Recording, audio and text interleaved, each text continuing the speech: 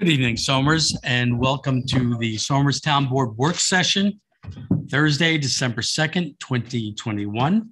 If you would please stand and join me in the Pledge of Allegiance. Pledge allegiance to the flag of the United States of America and to the republic for which it stands, one nation, under God, indivisible, with liberty and justice for all. Thank you. Be seated. And as has been our practice, we are, this is a hybrid meeting, meaning that uh, you can view this uh, on Zoom, um, on the government channel. And if you have comments, you can comment on Zoom, you can text us, or actually call in during public comment. At which point I will make a motion to open public comment. Second. In favor? Aye. Aye, so moved. All right, is there anyone here present uh, for public comment? Now, public comment, once again, is an opportunity for anybody in the Somers community to bring up an issue that is not currently on our agenda. When we get to your agenda item, if you have a comment, then that's, that's when we'll entertain uh, comments. So if there's anyone here for public comment for anything that's not on the agenda. Yes, ma'am. Give us your name and address.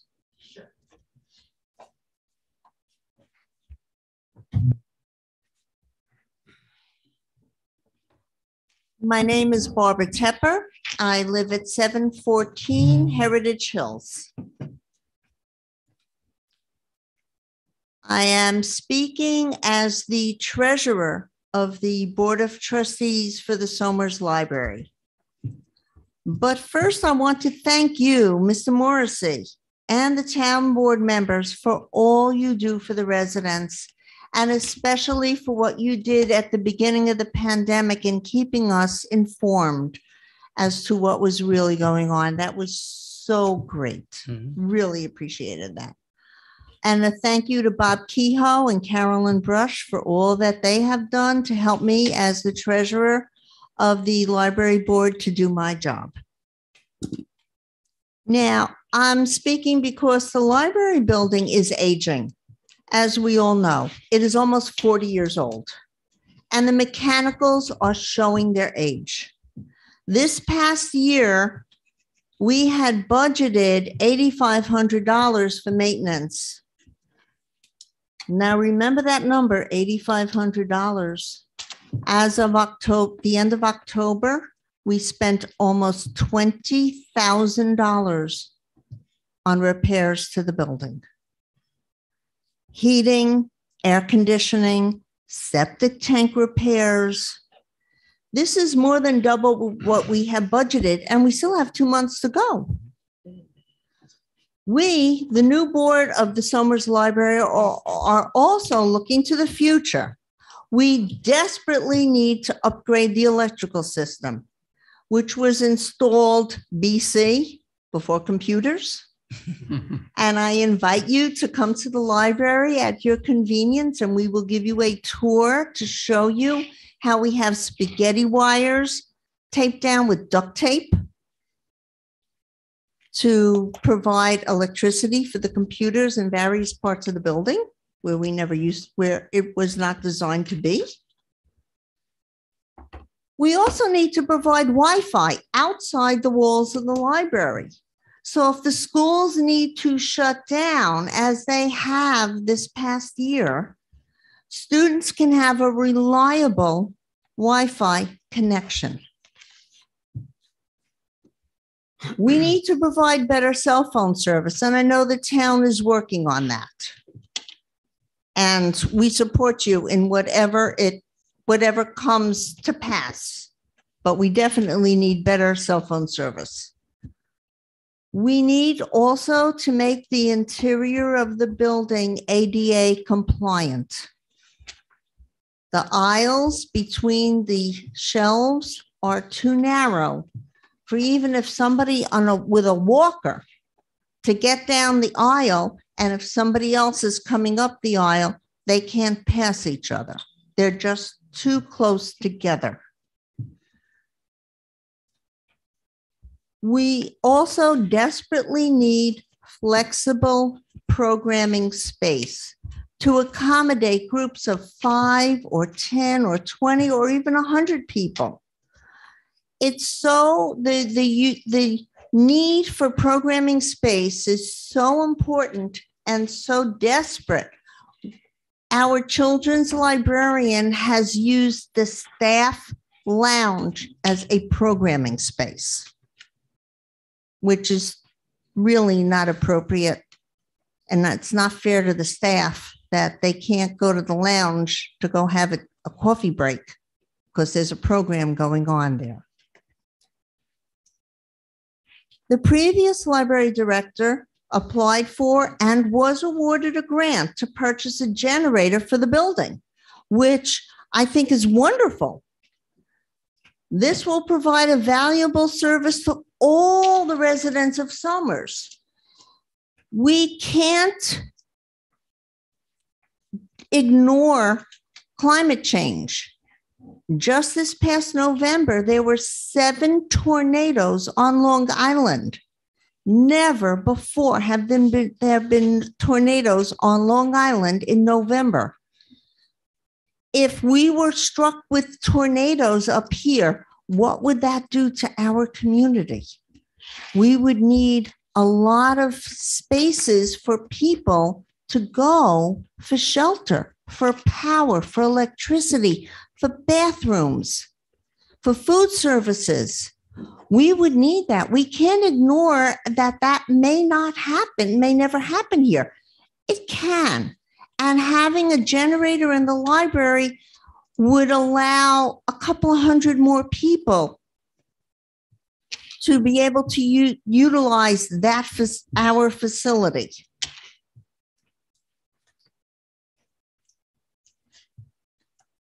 Can our schools and our shelters currently support? Let's say if only, if 50% of the people have their own generator here, and I doubt that 50% of the people do have their own generator. That would mean 10,000 people, even at 50%. Can our schools shelter 10,000 people in the event of a devastating weather occurrence? So I'm very happy that we have applied and were awarded a grant to get a, a generator so that the library now can become an additional shelter for the community. Several of our library board members, as well as our director, Ms. Daddio, attended a day-long session conference on Tuesday sponsored by Library Journal, a professional publication, on making libraries accommodate the needs of the 21st century. Wi-Fi, Zoom programming, redesign of the interiors to accommodate ADA compliance.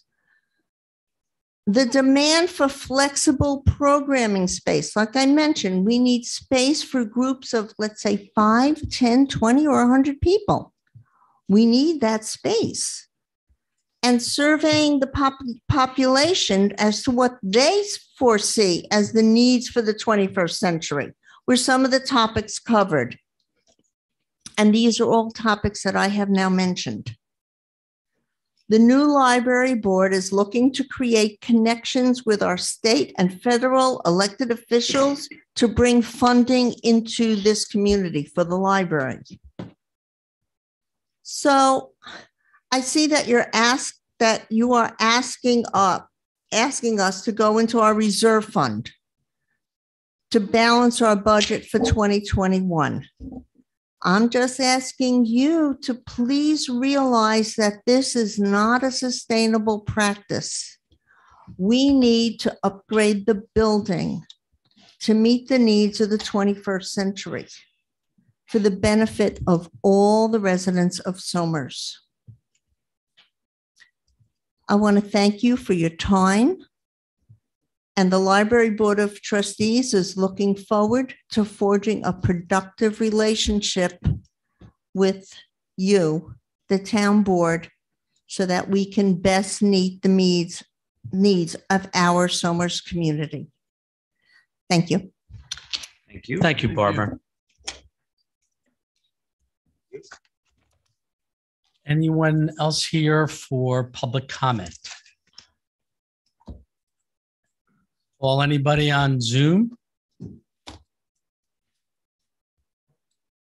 Okay. Uh, Patty? Phone is dead. Okay, no text? Okay. Okay, seeing, hearing, and having none reported, I'll make a motion to close public comment. Second. All in favor? Aye. Aye, so moved. All right, our first uh, agenda item tonight, um, unfortunately, it's remained on our agenda for the last almost two years now, is uh, Somers COVID-19 update. Uh, In Westchester County, uh, there are currently 2,626 active COVID cases. And as of yesterday, there were 352 new cases. Uh, the county executive was um, at a press conference this week, and I think it was in response to the governor declaring an emergency, um, basically for upstate where the uh, vaccination rates are lower.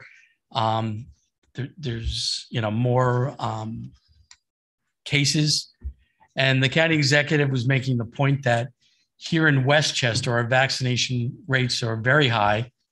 Um, there, I think he reported there's only 52 people in hospitals with, with COVID, being treated for COVID. Um, and for a county of a million people, that's, that's a pretty good number. Um, in Somers, uh, unfortunately, we've been seeing an uptick. Uh, for a number of months, we've been at single digits on new cases. Uh, we, as of yesterday, we had uh, 16 new cases. Um, and active in our community right now is 81 active cases. So clearly, you know, the, the and with our vaccination rate here in Somers is close to 95%. So that's a remarkable achievement for the residents of the town. And, you know, I'm no scientist, but with that type of vaccination rate and these new cases coming coming up, I'm thinking that they're these are breakthrough that people are vaccinated but still get a mild case. And that that 52 number that the county executive was talking about really speaks to that. That yeah, people are getting a reaction even with, you know, uh, being boosted, um, maybe picking up uh, COVID, but then getting a mild reaction and and surviving it with with no after effects. So is it concerning? Yes. Um, you know, is this a result of families getting together for Thanksgiving? People coming from different places? Possibly. Um, college kids coming home and then going back? Possibly. Um, but I once again, I can't say enough about the town of Somers' response to this pandemic. Um, we here at the townhouse have uh, taken precautionary steps. Um, we're very protective of our employees, number one, and of the of the community in general. And um, everyone has a responsibility, you know, to do what they feel is in their best interest, protect themselves. You see people going into stores. Some people don't have masks. Some people do. Um, you have to respect the individual. Uh, but all told, um, the, this uptick in cases is not specific to Somers. Yorktown has they're they're in the hundreds of, of uh, active cases. Um, so once again, this this is not a cause of alarm. We're not making any mandates. We're not declaring an emergency, um, but just be mindful that we're still in the midst of um, of a pandemic, and hopefully we'll get this under control. Um, do I ever think COVID nineteen is going to go away? Probably not. It'll just be part of our environment, but we'll we'll get our antibodies up, and life will continue. You know, Rick, just to put it in perspective, what you're saying, I just look back. So two weeks ago, we met. There were three new cases on that day. And today there's 16. There were 41 active cases two weeks ago, and now there's 81 active cases. Low, but the trend is obviously not in the right direction. Right. Okay, so uh, moving on to uh, the next agenda item, uh, Park project proposal uh, presentation. Um, This has been um, a very um, important and concerted effort by Parks and Recreation. Um, They came to the town board uh, earlier this year with a proposal to uh, upgrade and revamp uh, Bailey Park. Um, I remember the town board was kind of excited about it. Uh, we saw some drawings and I think at that point we recommended, you know, we wanted you to go out to bid so we knew what kind of, uh, uh, financial, uh, commitment it was going to be. But in addition to that, what we did was referred it out to other departments, other, um, people in our, our community for, for their input. So, um, you know, with that preamble, um, I see that the chairman of the Parks and Rec Board is here. Kevin, you want to come up and address us?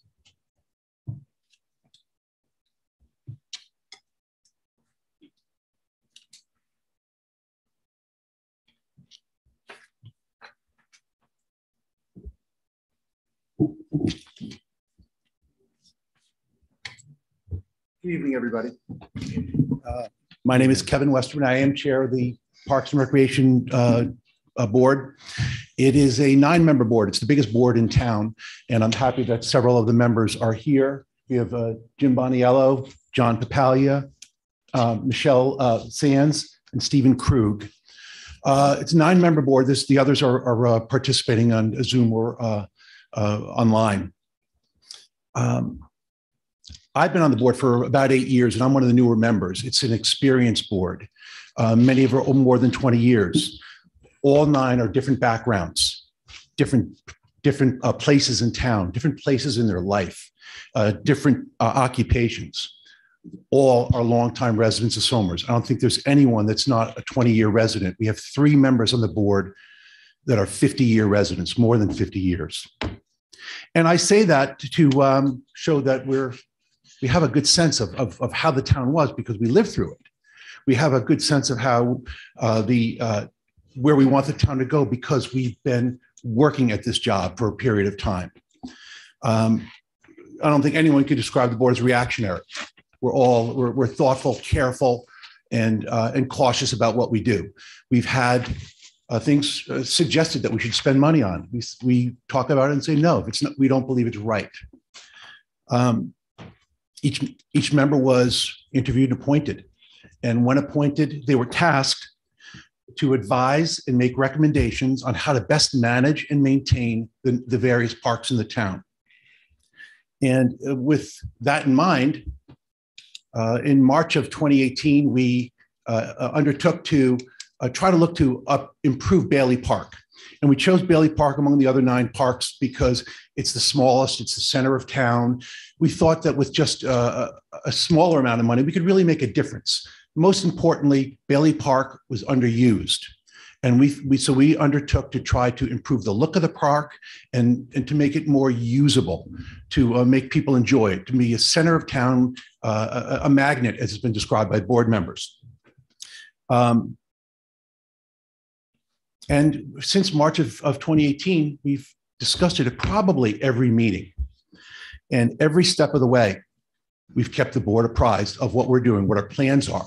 We have, are very, very fortunate in that we had two excellent uh, liaisons, Richard Clinchy and, and Tom Garrity, who were interested and involved. Uh, since March of 2018, Tom has, has, attended 14 board meetings. Since March of 2018, uh, Richard has attended a dozen board meetings. And during those board meetings, uh, we always discussed Bailey Park, sometimes at depth, sometimes cursory. Uh, at those board meetings that Tom and, and Richard were at, they, um, we saw presentations from landscape architects. And so um, uh, so we were, we were comfortable that the board has been kept apprised all along. There's always been discussed in detail in the, in the meeting minutes that the, uh, that the town board gets. Um, And uh, I know I personally have spoken in, in, in depth, uh, in, in specifically with uh, Supervisor Morrissey about the board, and I've spoken about generally to, uh, to Councilman Cirieco. So um, this is all something that's been a slow process.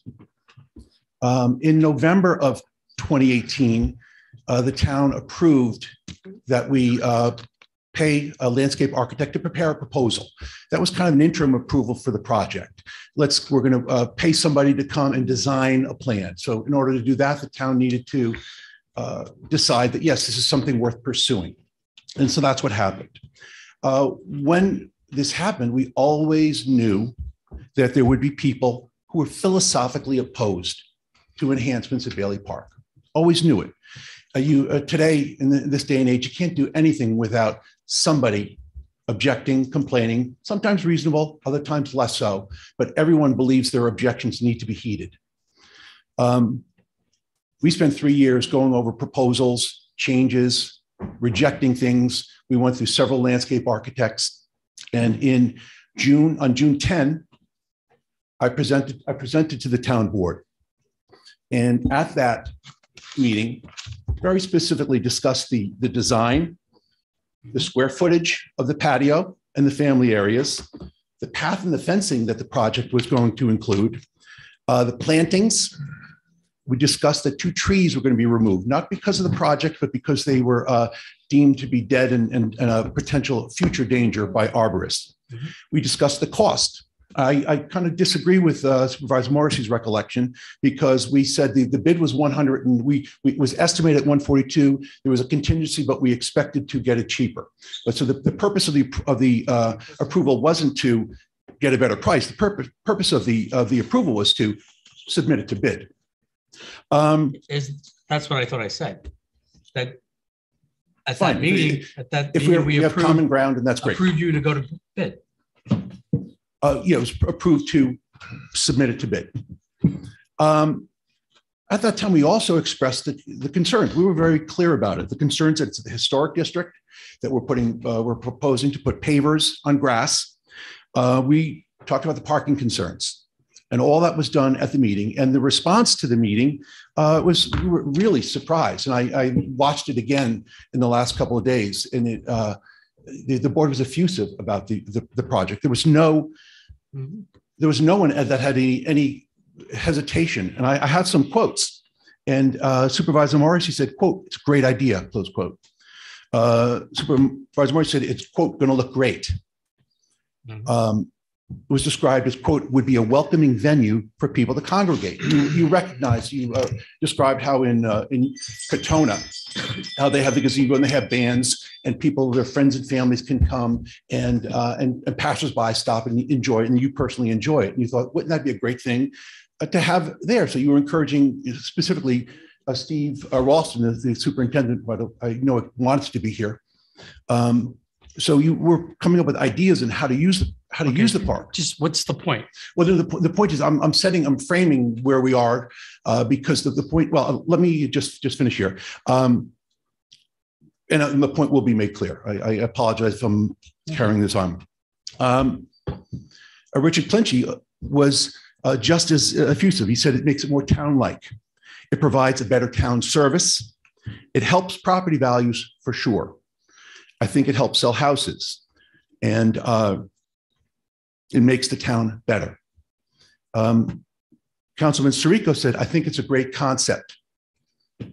It's very timely. And, and uh, you may recall you talked about how Yorktown has a gazebo. People use it. It'd be great to use, use it here. Um, and you said this is going to be a showcase. Uh, and Councilman Garrity called it a fantastic job and said it's, it's, uh, it's more usable. Um, so in light of that, it was, was approved and uh, approved to go to bid. And uh, you did say that it should be referred to the Architectural Review Board.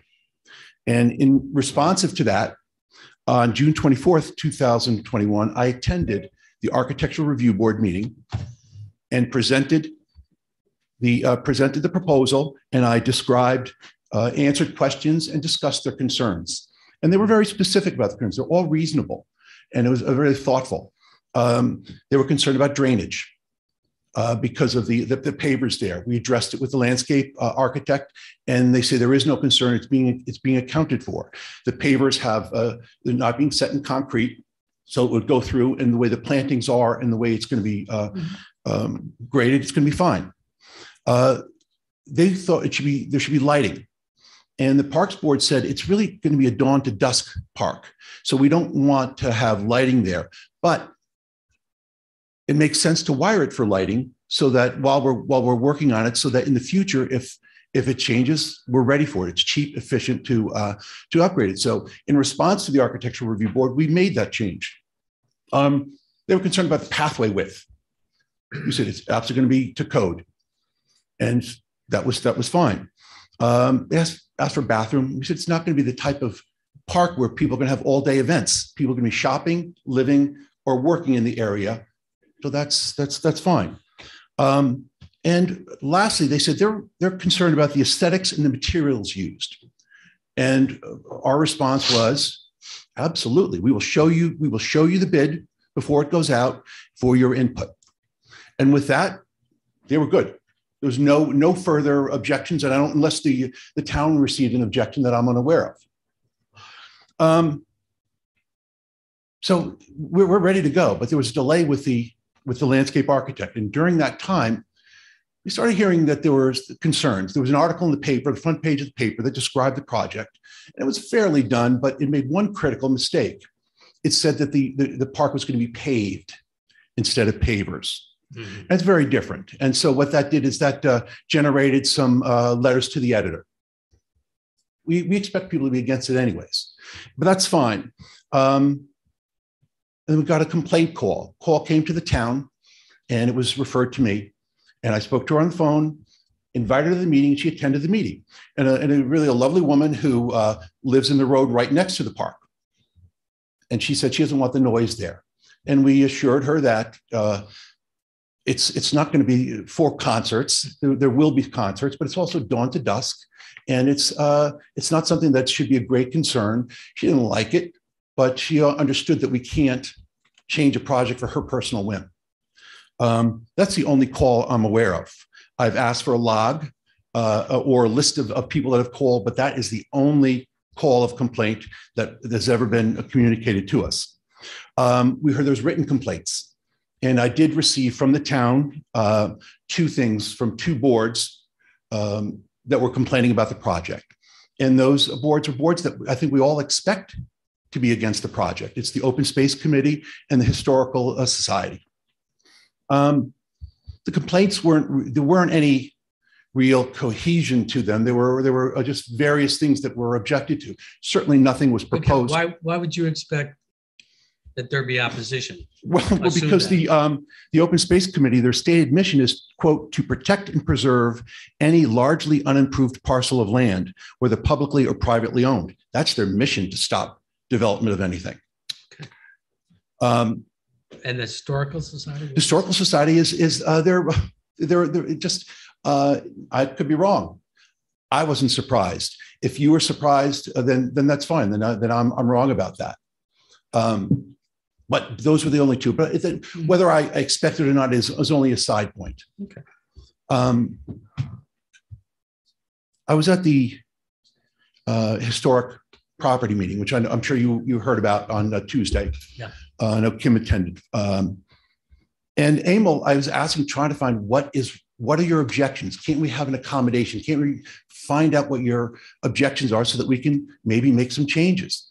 The only objection that he would articulate was he hated the pathway. Hates the pathway, thinks it's stupid, don't unneeded, unnecessary.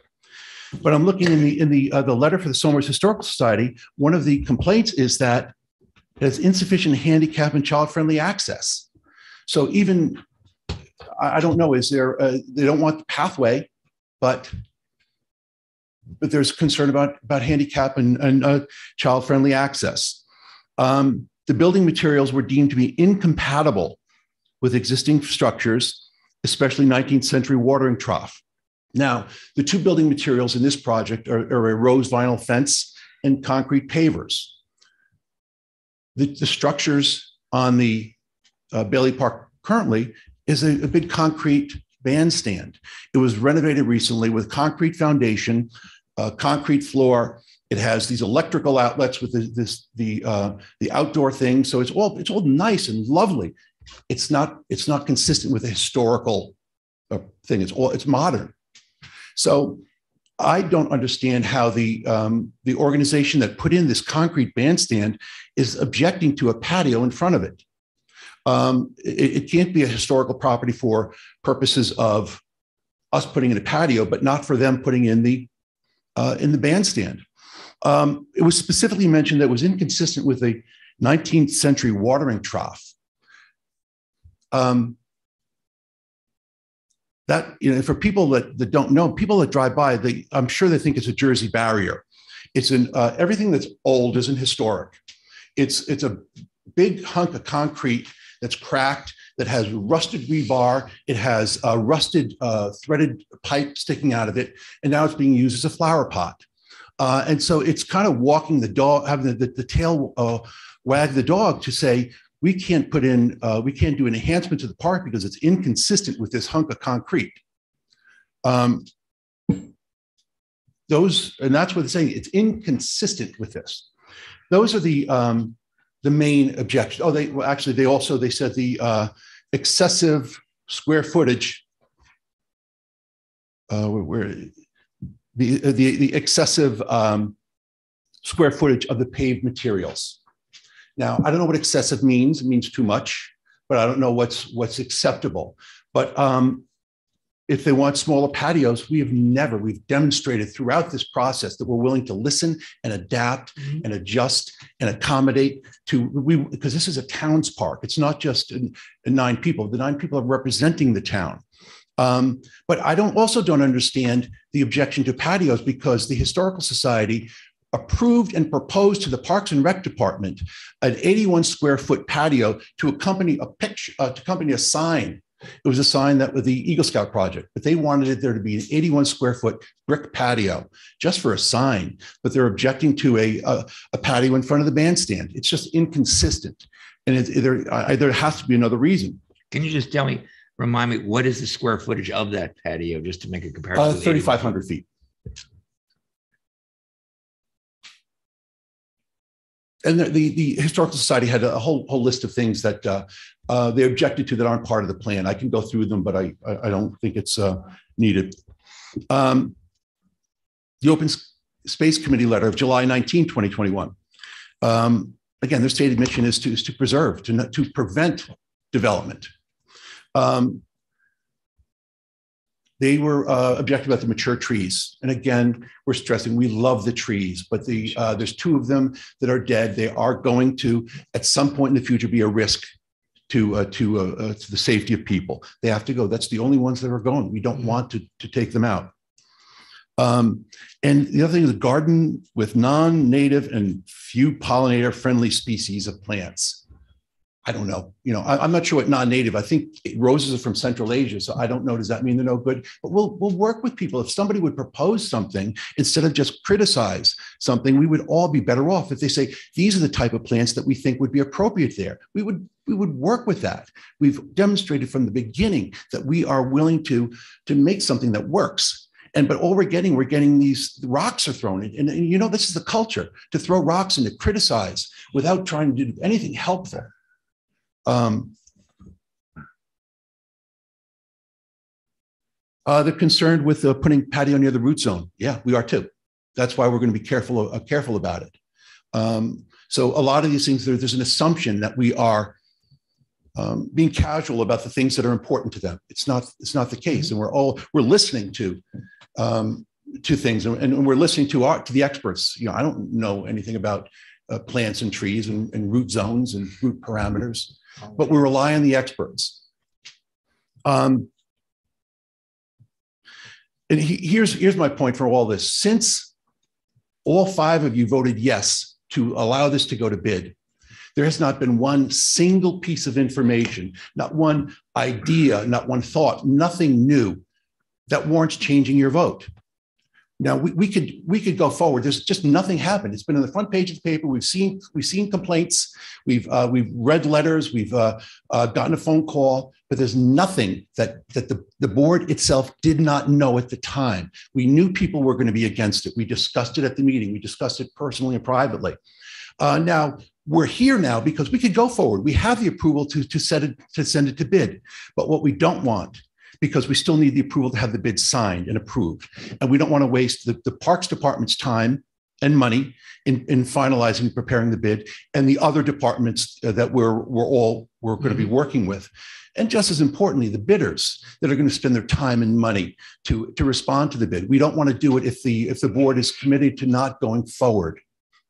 And so that's why um, when it was suggested, we said yes, it would be a good opportunity to discuss it. Mhm. Um, in the three and a half years of, of work of the nine experienced residents on the volunteer board, if it's to have any value, it's it's it needs to be listened to and not just and not just ignored on on because of some complaints that someone received. Uh, and I'm not saying that other people aren't complaining. I'm just saying we don't know about them. If they're doing it, they're doing it informally, and that can't be the reason for turning for changing a vote when there's nothing else new. And if there is something else new, we should know about it, but we don't. We haven't been told. And uh, but so all it is is the p- people complaining about stuff that we all we all we knew about. So to, to ignore the recommendations of the nine experienced members of the Parks Board and change your vote based on one complaining phone call, two letters from boards, and uh, a couple of letters from the uh, couple of letters to the newspaper, it's um, it's it's it's just it's stifling and chilling for what we've done in the past and what the board you expect the board to do in the future. It's a recipe for not getting anything done. You can't govern that way. To to, to let a couple of complaints uh, change your opinion and I, I i respect that you are you you don't vote for things casually and you don't vote for things without knowing what you're voting for and you don't vote for things without without considering all of the things and you all voted for it and there's nothing to change your vote other than a couple people, maybe that maybe your friends are complaining about it. But that's as as, as public leaders, as, as, as elected officials, that can't be a reason for changing your vote. And so um, we're going to ask that you uh, instead give us a, a vote of confidence by reinforcing your vote and so that let us to go and work with the with the different boards to put together a bid and to improve the town and i encourage you to look at the the june 10th meeting and your comments when I looked at it again, it was it was eye opening. And when the board members looked at it again, two of them independently said, "Why are we here?" Because because there's it was so enthusiastic. It was so certain. The only issue was. Uh, Councilman Morrissey, uh, I'm sorry, Supervisor Morrissey, you wanted to know, can we get it done by September 11th? That was the issue. And to go from there to here, because a couple people that we don't know about, they're unknown, unknown faces and names, I'm not saying they don't exist, but I've, they've never been communicated to us. To, but so to change your vote on that is just wrong. And so we we uh, we ask for uh, we ask for. Thank you. So I just like to make a few comments. And everything you presented tonight regarding that meeting was correct. We reviewed this. It's an improvement to a park. Um, and I did make that comment. Can we, how fast can we get this done? Twenty year anniversary of 9/11. It would be a, a, uh, I knew it was a monumental task and probably would not happen. But once we put this out, once there was public knowledge that something of this magnitude was going to happen at, at that park is when we started getting feedback uh, in the community. Um, I personally, half a dozen people talked to me. Um, you know, how can the town be doing this? It's a it's a pocket park. It's in the historic district. You know, why is it being made into a, a concert? And you know, I, I was troubled, and I was really amazed because here you know, we have nothing but respect for our Parks and Recreation Board. You guys do a great job with Reis Park and, and our other parks, and it was enthusiastically received. And I was amazed at some of the feedback that we were getting from the community. Uh, in addition to that, um, when projects come up like this that are that involve a public spending public funds and uh, going to uh, affect a public property, we do like to refer it out to to to other boards. You know, one thing I was really surprised about um, is this this park is in the historic district. It's a historic property, yet no one outreached to the historic properties board or the historical society during during this phase of over the last three years. You said, you know, why why they weren't involved in. Well, let me finish. Um, so that that was one thing um, that gave me pause, and you know. I'll be the first to admit, you know, I have personal feelings about things one way or another. But as an elected official, you know, I, I take public input. That's what this job is. So we do listen to the public. And, um, you know, you kind of so you don't we don't have to listen to it. Well, yeah, as a town board, I think we do. We have to give everybody a fair hearing. And that is not to diminish, once again, I'll repeat it. That's not to diminish any anything that your board does. You know, we respect you to the nth degree. But you know, you have to allow for people's opinion to change based on outside input. Uh, Kevin, can I, Well- can I say one thing first? Sure. Rick, are you done or not? Yeah. Okay. Yeah, and I can't say it any better than Well, Kevin. Kevin, I, I'd like to hear from some other folks here. Yeah, yeah. Um, I can't say it better than, than Kevin did, all the points that you brought up, and I have been at many of the meetings. You know, I am a believer right now that nobody uses the park. I see it rarely, I mean, I drive by all the time. I don't see people in there having lunch. I don't see people in there drinking coffee. When we have the events, which we, we do nice events there, people show up. Um, that said, we do listen to the public. And what I just heard was we have nine members of all different demographics of the, of the Parks Board who are all collectively together on this, all think it's a good idea. And, and Rick, I mean, you, you just said that you heard from a half a dozen people and that changed your mind. There's nine people who are saying that they're all for it. Mm. And I mean, we all have people, if we voted based on 20 people being against a project or 30, we will never pass any project moving forward, ever. There will, no project will ever be Okay, passed. l- let me clarify what I, what I just said then about, I heard from people from the Mhm. public, but I also heard from our historical So society, our landmarks people Yeah. and, and uh, historic properties board. Well, I mean, this, this park is not Koegel Park. It's not, it's a park not in a Reis historic- Park. It's a park in a historic district. It's not Is a it- historic park. Yeah, it is. No, It's it's a, not. No, Abraham Lincoln didn't make a speech well- there. it's a historic property. It's in, this is a historic property. You know, it- it- and- but but this is what gets me is. The issue is Rick, you know what, we Rick? need input from these other boards that, and that seem to be ignored. But, but, but Hmm. we, I, I agree with, with, uh, with uh, Chairman Westerman. I mean, I fully That's, expect, that's, that's your. no, no, but what I'm saying is I fully expected the, um, open space committee to be against it, because as long as I've been on this board for I fourteen understand years, that, right. I- they've never been for, And I didn't mention the open space committee comment. I. well, you did, you said the open space and, and, uh, and the historical society. I also expected that the. No, I said landmarks. The, but earlier you said uh, that the Historic Society, I expected you to be against it as well, to be quite honest with you. I, I mean, I saw Meg when we were out there measuring stuff out and, and her comment was you don't like grass. No, I love grass. I, you know, I got a yard of it. Um, but I like, I like a park to be used. I I like a park to be used. And we're all, we're constantly saying how we need other spaces in this town to do things. And this is just a totally underused location.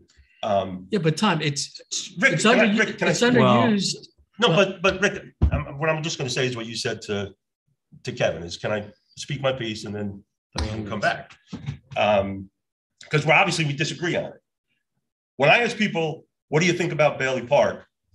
The first reaction is, I don't even know where Bailey Park is.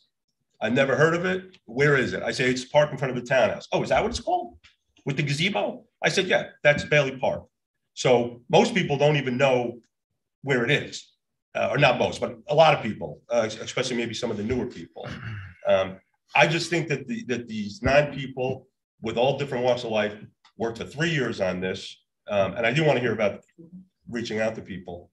Um, and what's going to happen is, is if this gets voted down, it's going to be the same park you see now. Now, you guys might be very happy with that.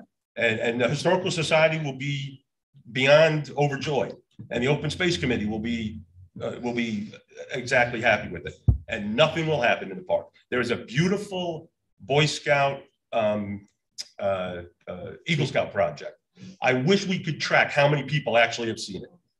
Because I would bet you most people haven't seen it. We were there the day that they put it in, but you know, it, it's not, it's not a go-to destination. It's, it's not. Um, it- it's there and, and you know what, you know what it is? It, for now, it's, it's, Grace puts together fantastic, um, events there. And, and I, I, I went, I've gone to them. Um, but other than that, it's the signpost where people put signs up so they can announce what their meetings are gonna, or what, what, what's coming up in the town on the two posts that uh, Heritage Hills donated years ago. That's my opinion. We disagree, but, but that's my opinion. And I just don't see cha- uh, changing something based on, uh, on uh, what I consider to be a, a vast minority of, uh, of, uh, of citizens. So, Well, let me, me, if I may, Yeah. just say this. I would like to hear, obviously, there are people here who have been, and I would like to hear those reasons and those opinions. I did not actually know we were here to decide whether or not to overturn that vote, to tell you the truth. It says discussion. I assume that's what we're going to do. So I'd like to hear that.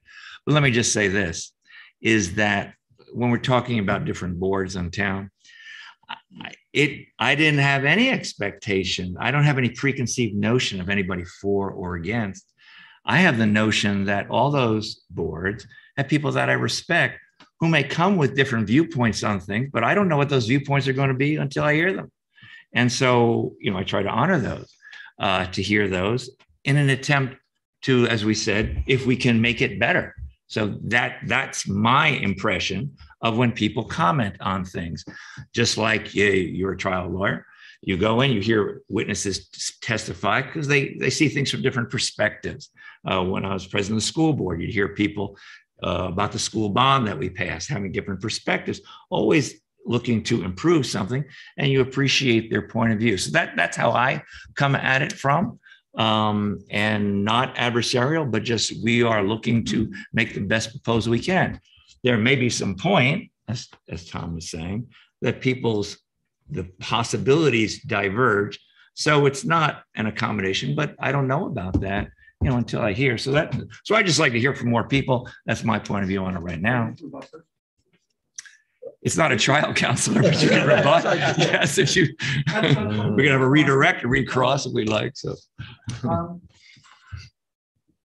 Uh, Supervisor Morrissey suggested, was suggested, I don't know why the uh, Historical Property Board wasn't informed. Hmm. I, I don't understand how you could say that. I serve on the Historical Property Board with you, and that's where we've, we've discussed it. We, at the June 20 uh, meeting, we discussed Emil um, going at me with both barrels uh, because I, because he was against the things that we were discussing. We haven't, there was no suggestion that we're not uh, communicating with people. If we are, Okay. uh, it- it's not knowing the process. And uh, we had a we had a uh, an issue a couple months ago, with the basketball hoops, and the outcry and raising that to a crescendo was ridiculous. And but there but there were so many more people that were so um, viscerally uh, annoyed and angry, and, and the, the volumes of people and Facebook and and uh, and letters and calls, and uh, the difference with that and the, board was great. They they recognized for what it was, even though there was a lot of people complaining. Right. But the board recognized what it was and supported the Parks Board on that.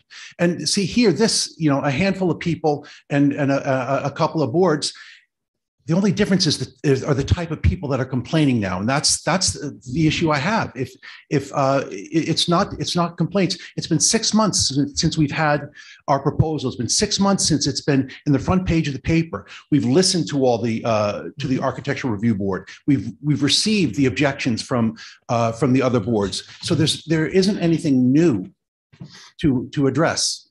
Um, and so I, I there certainly is nothing new that would that warrants a change of the vote. Thank you. Okay, thank you. Sure, we have others. I'm guessing, I'm hoping. Yeah, I mean, Yes. Grace, you're here and I see you. Yeah, would you like to Yeah, Ready to speak. would like to come up.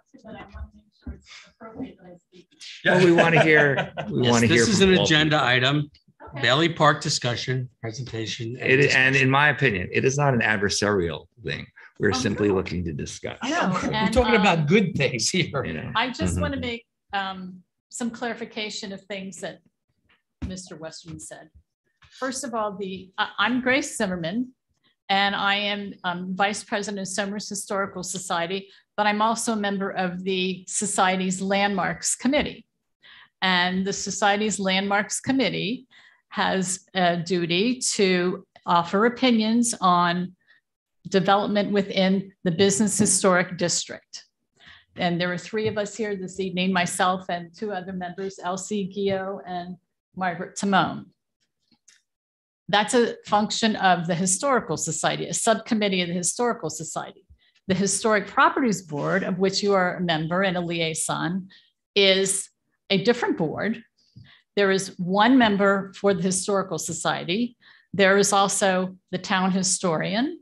There is an architect, yourself, and Parks and Rec. So the Historic Properties Board, what I mean to say, is not the Historical Society. That being said, so Emil Antonazio, who you mentioned before, is the chairman of the Historic Properties Board because that's the way the board is laid out. And he is also the president of the Historical Society. But when he's speaking, he's a member of that board. This board, the Landmarks Committee, rather, is something different. So in July, usually the process goes when there's a development in the town, in the um, Business Historic District, we get a memo, either from the planning office or from uh, someone, or the, in this case, it was from the town board saying, we are reviewing this application. It's in the business district, the Business Historic Preservation District. Would you comment?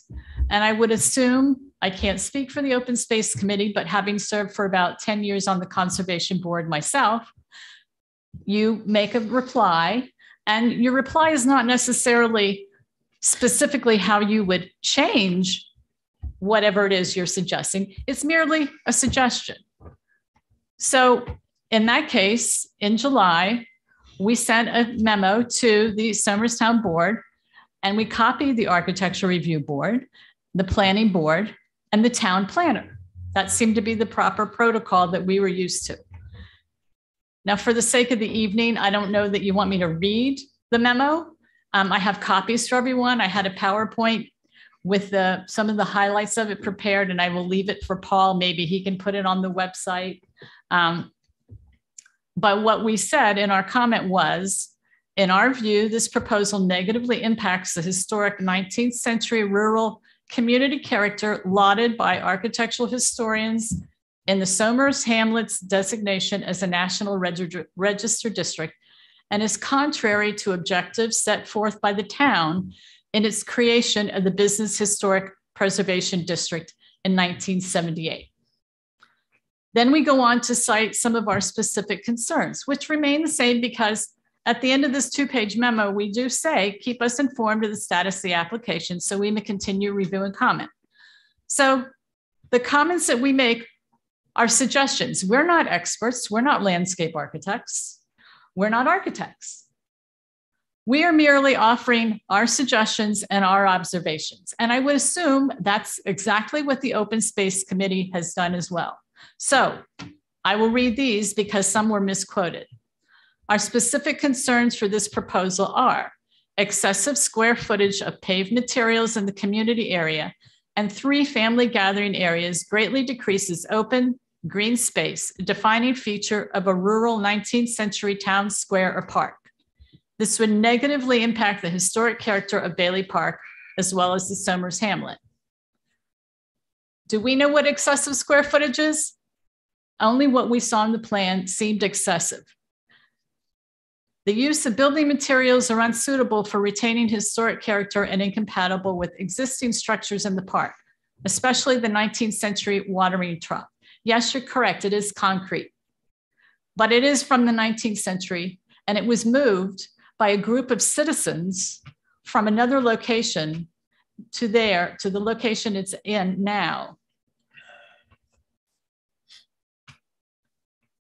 Limited accessibility with insufficient parking, handicap and child-friendly access or crosswalks, particularly given the proposed occupancy associated with the seating areas. We're just making these observations. Again, dismantling and relocation of existing dedicated memorial benches and Unity Garden plaque. We feel this garden should remain intact as dedicated. There was on the plan, we saw no rationale for tree removal this is just the plan we saw. We just saw a site plan. The plan omits identification for park features, the Unity Garden bronze marker, the 19th century watering trough, and its bronze ID marker, the Bailey Park bronze marker, the proposed historical scout, I'm sorry, the proposed Eagle Scout historical sign. So in essence, these were observations we had. We are not adversarial.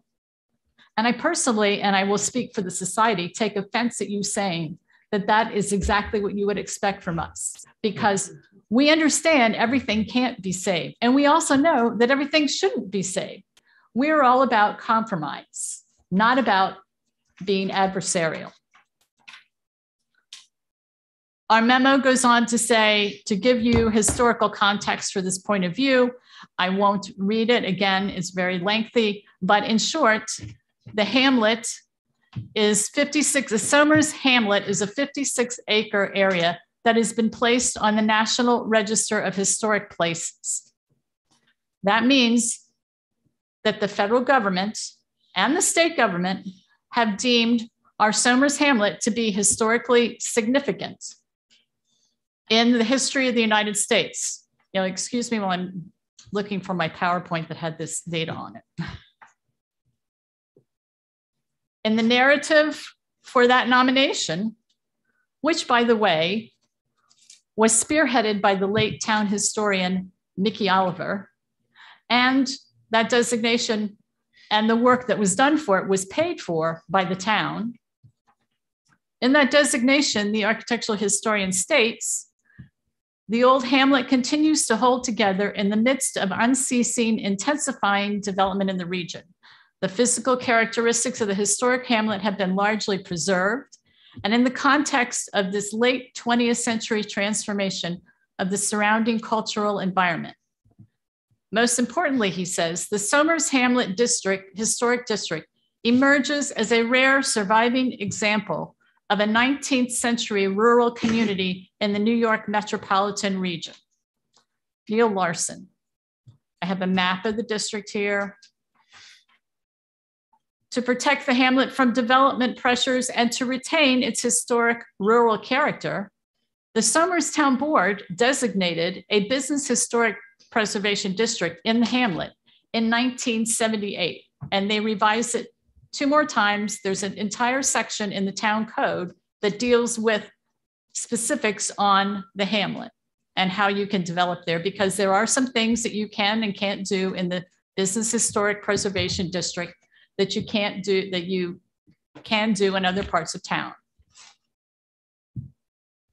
So in the town code, when they created the Business Historic Preservation District, you say it is the purpose of the BHP to maintain the historic development patterns of the Somers Hamlet, including the size and spacing of structures and open spaces, to encourage the protection and enhancement of the features of the Somers Hamlets, that have a special historical, architectural, cultural, aesthetic, or other similar special interest or value, as well as to allow the reasonable use of land and buildings as appropriate to strengthen the historic function of the Somers Hamlet as the community and government center of the town. That's in our code. The future of the Somers Hamlet is also addressed in the Somers Master Plan 2016. One reference is on page 66. The future of the Somers Hamlet continues to depend on a balance of preservation of historic features and character and appropriate levels of development and redevelopment within the context of available infrastructure. And in fact, on the map in the master plan, excuse me, I have to look a little closer with my glasses.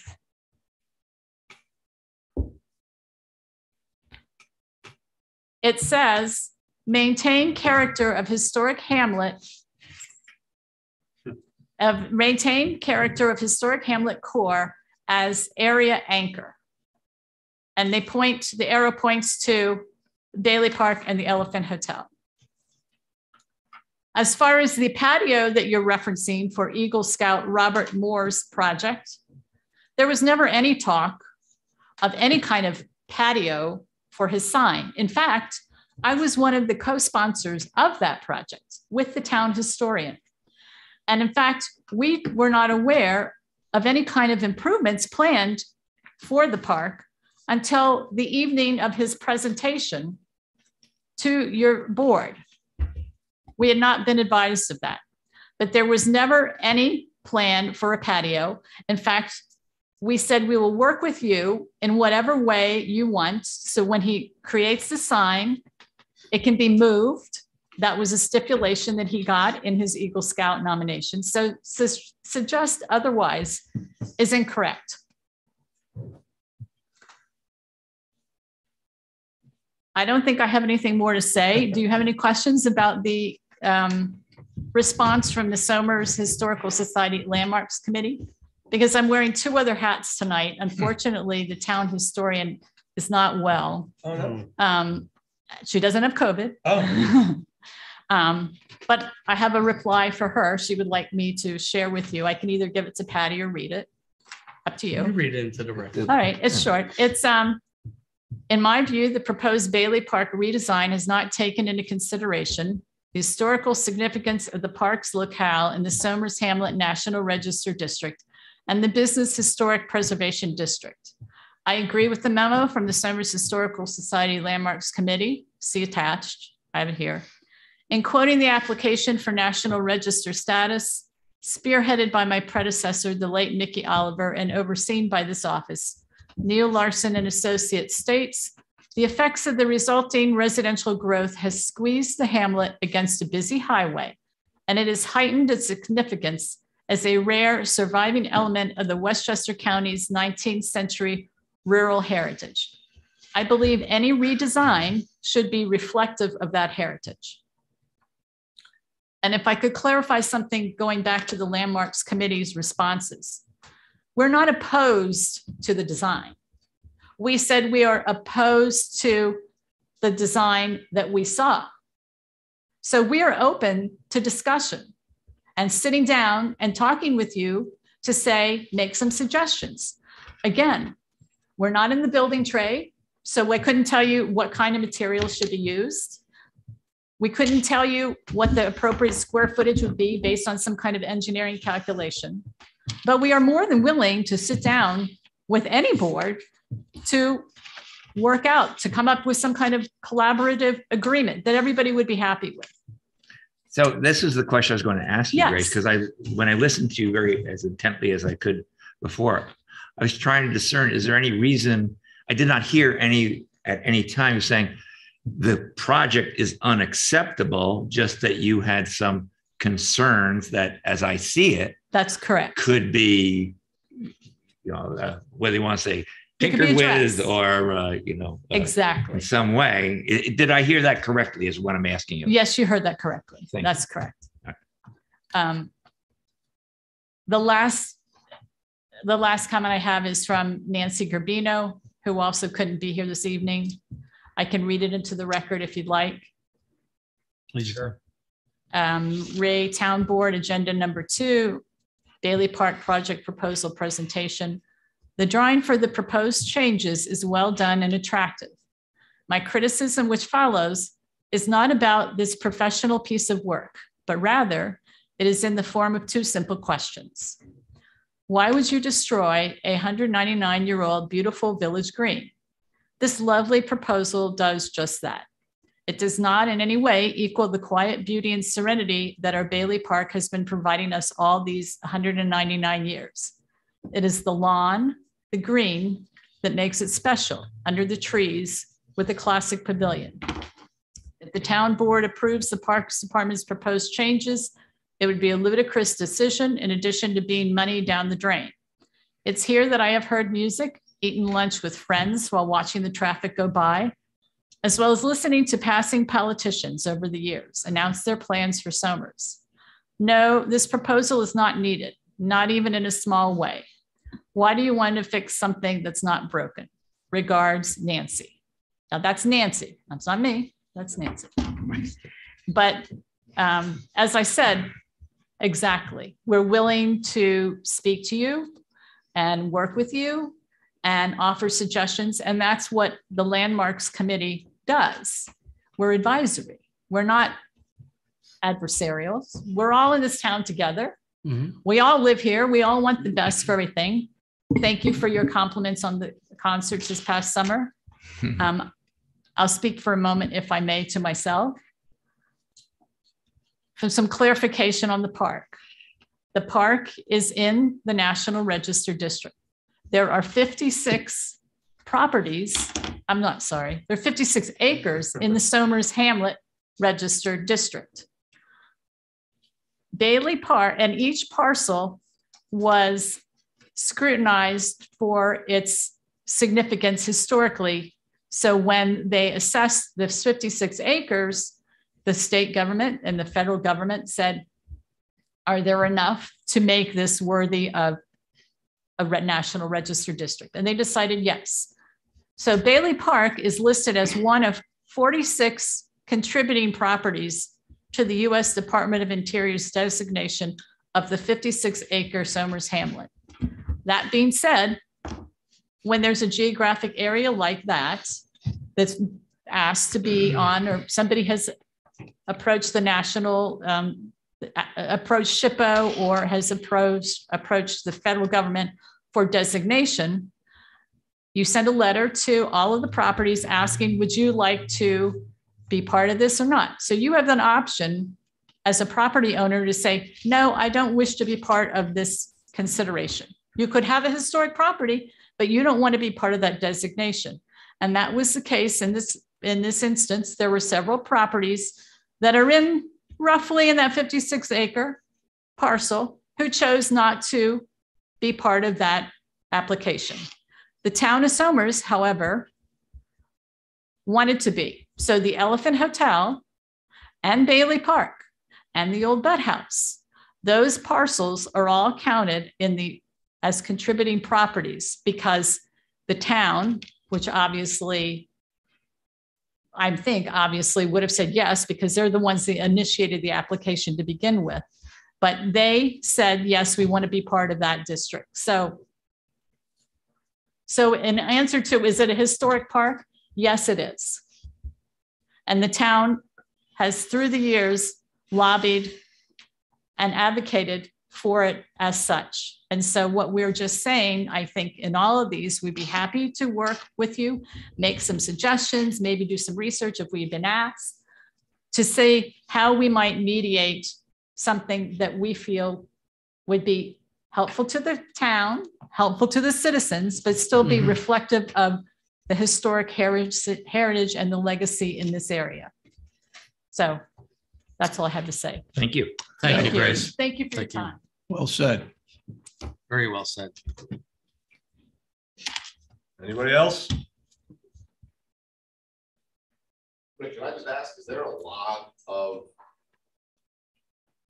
You would have told us, You're gonna have, You you're can't gonna have to speak. come to the microphone if you do it, Yeah. but Arnie beat you. Good evening, everyone. My name is Arnie Dio. I live at One Somerset Drive, and I was one of the people that moved the water and trough. Uh, I want to make it, uh, okay, I spoke to Steve. I have the freedom to speak for him at the same time. That's Steve Delzio. approximately eight to nine years ago, he came to the board and asked permission to move the watering trough at the previous location west of here on 202. His concerns was that was totally overgrown. He saw it uh, de- be deteriorating when he was on a wee little kid on a school bus. It was his dream to preserve this. Oh, yeah. Now, the town board approved of the move. Approximately eight years ago, I was one of the many members of the community that participated in moving this water trough. Now, in talking to some of the elders of this town, it does have a history to this town. It is the replacement of the original water trough. That's very similar to the watering trough north of here on 116 and 202, made out of stone and cement. Now, again, talking to the elders, the trough that is in Bailey Park at this moment was moved from, okay, the original trough was very similar to the trough at 116. And the reason why it was moved back at the turn of the century, when New York City granted money to improve the roads around New York City reservoirs. And that was one of the main troughs for the cattle and the horses to go from Boston to Peekskill. Now, it was brought up why I'm here that there was pipe sticking out and rebar. Well, the so-called rebar is threaded rods. I would really love to know what those threaded rods rods were for. They had to be for something. Now, the pipes, where the location was, there was a spring up the hill. Used to feed that trough. And there was an outlet. And the reason why these troughs are further away than in the middle of the town was when you had cattle, when they drink, what else do they do? So you can have the smell and the stink in the hamlet of the town. I'm here only to talk about the trough and to let everybody know the location, the current location now was picked by the superintendent of parks. So that is a very important part of the uh, of the trough. It had nothing to do with where Steve wanted to put it. It had nothing to do where Steve wanted to move it. Yes, he did, but everything got approved by the proper authorities. And that's I'm here to talk about that and that only. And I want to thank you very much for your time. Okay, thank you, Arnie. Okay. you know, as this, as, as this project morphs into and goes forward, you know, that's an interesting story, Arnie. And I remember when you did that and learning about it, because I had no idea what the thing was, that would be something maybe if there's some way when people go by, like, what the heck is that thing? You know, at least being, you know, a history teacher, I like to read about that stuff. That might be something going forward that's there, unless it's there and I've already missed it. You're on a deal. You do whatever you want in this town.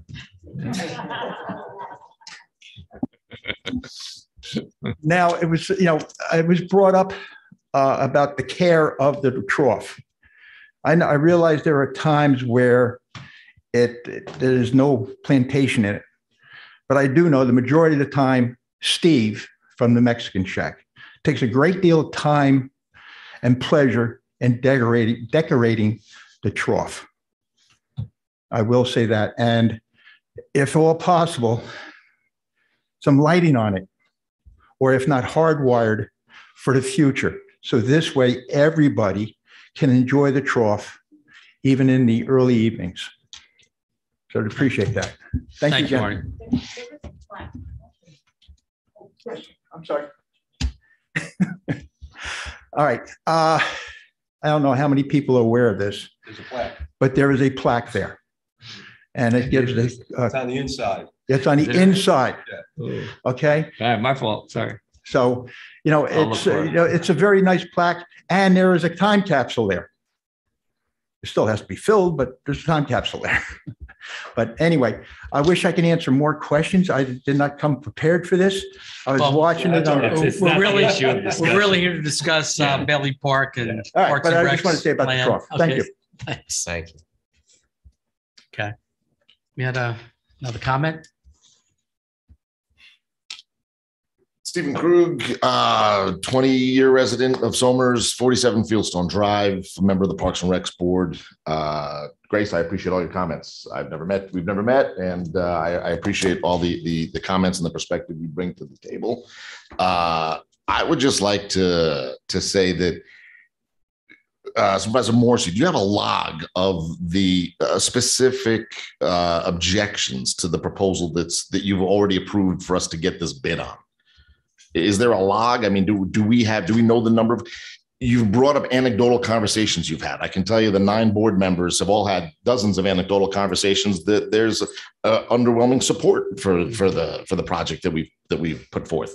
So I, we're, we're talking about anecdotal conversations that you've had. I'd like to know, is there a log? Do you, we- do you keep a log of your conversations? no, but people? then, but then our, but, but I, I believe the nine people on our board that have had anecdotal conversations would outnumber the anecdotal conversations you've had. And now we're going to get in the contest back and forth of who'd had more anecdotal conversations. Okay, now So- you're going on the adversarial side here. No, I'm not, We I'm not just- being adversarial at all. We, I'm, I'm asking, I'm, I'm not being, ad- I'm let me ask asking. let me ask, answer your question. No. I do Okay. not have a log of uh, conversations that I have with people that I meet on the street or, you know, voice, call me and voice an opinion. But what we did here tonight is our Historical Society and Landmarks Committee. They're a board as well. You know, should they, should we not listen to them? No, and I, I appreciate the comment. I- In fact, I, I, I learned a lot and I appreciated and it opened my mind to, to a different perspective. Well, It. Truly did. My question is for us to take into account, if there were to be changes made, what are those changes? Uh, Are, are they, have they been logged? Have they been from what your conversations have been? What have those objections been? No, yeah, so we basically leave the park alone is basically the, you know, the, the input that, that, that, that I got. But I've also got input from other boards about it. So I, it begs the question at this point, and, you know, Kevin, I'll, I'll direct this to you. Is the current design something you're locked into? Um, do you want the board to take a, a vote on this tonight? Do you want us to table this while you get more input from uh, landmarks and the Historical Society? Yeah, come on. up.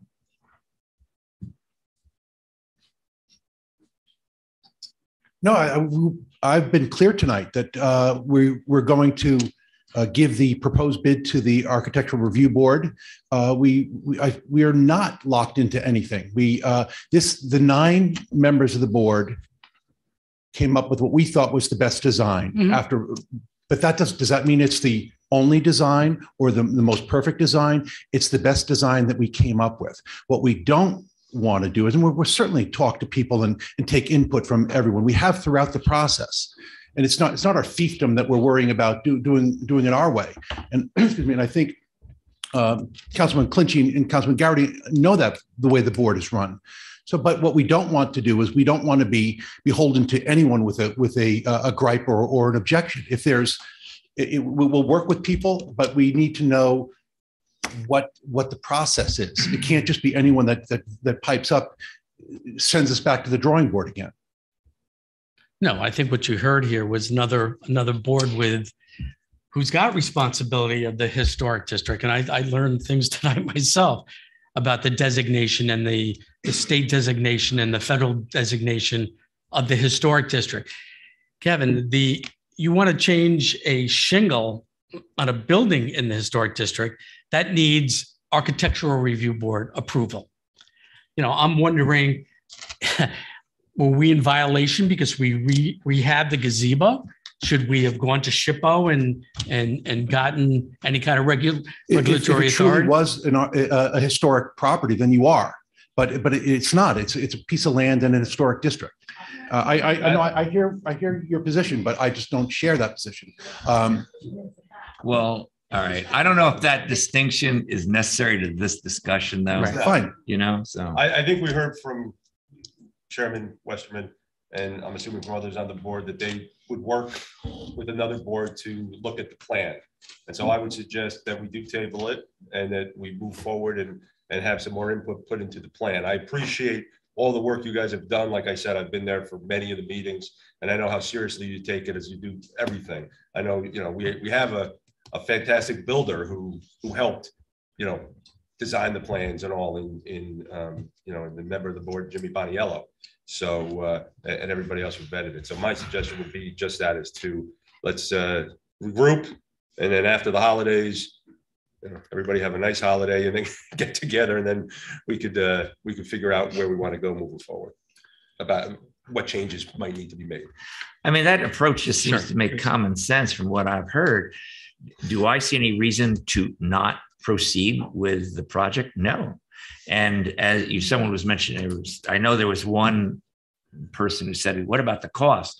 Well, the cost started up much higher, if you remember, is like 200 something. And even at one of the board members, I go, how much to remove a trait? And I, the board made it clear, you know, this is just a working number. And you, and it came down about 60,000 or something like that. And I'm still, still a work in project in, in process. But, you know, I think it's a good thing. I remember 10 years ago, maybe more talking this with Mr. Boniello, talking about a vision in the middle of town that he and I sort of shared that improves the town. And I think working with historic properties board to say, let's keep the historic nature. I love basketball courts and baseball It's, fields. it's the landmarks. Excuse me, I get It's it wrong. landmark, yeah. Landmarks. get it right. Fifteen different. I But we're not going to put, we're not going to put a lit basketball court in the middle of the town. No, I don't and I think think as it's much as I love basketball. And to your point, um, the other thing, point. But I want to keep the historic nature of it, Right, and that's right. where you can help Well, things that I don't know and none of Well, us and my, that's my, and that's my point, because my point is the town, it's not just our opinion. It is our opinion. However, it's our opinion, but our opinion, we share the opinion with the town in general, because the things I've cited are things that the town government have, has implemented. The Business Historic Preservation District, there are codes in there pertaining specifically to the hamlet Mhm. the master plan.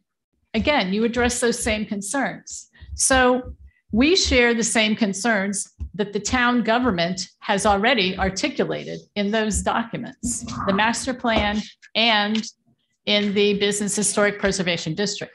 And I just might add that, um, since we're speaking to Mr. Boniello, the across the street, the um, Bailey Court. Bailey Court is also not the whole development, but the home there was a contributing uh, feature to that application. So um, that being said, I just wanted to understand the process because um, I think part of this problem we have or this disagreement we have Issue.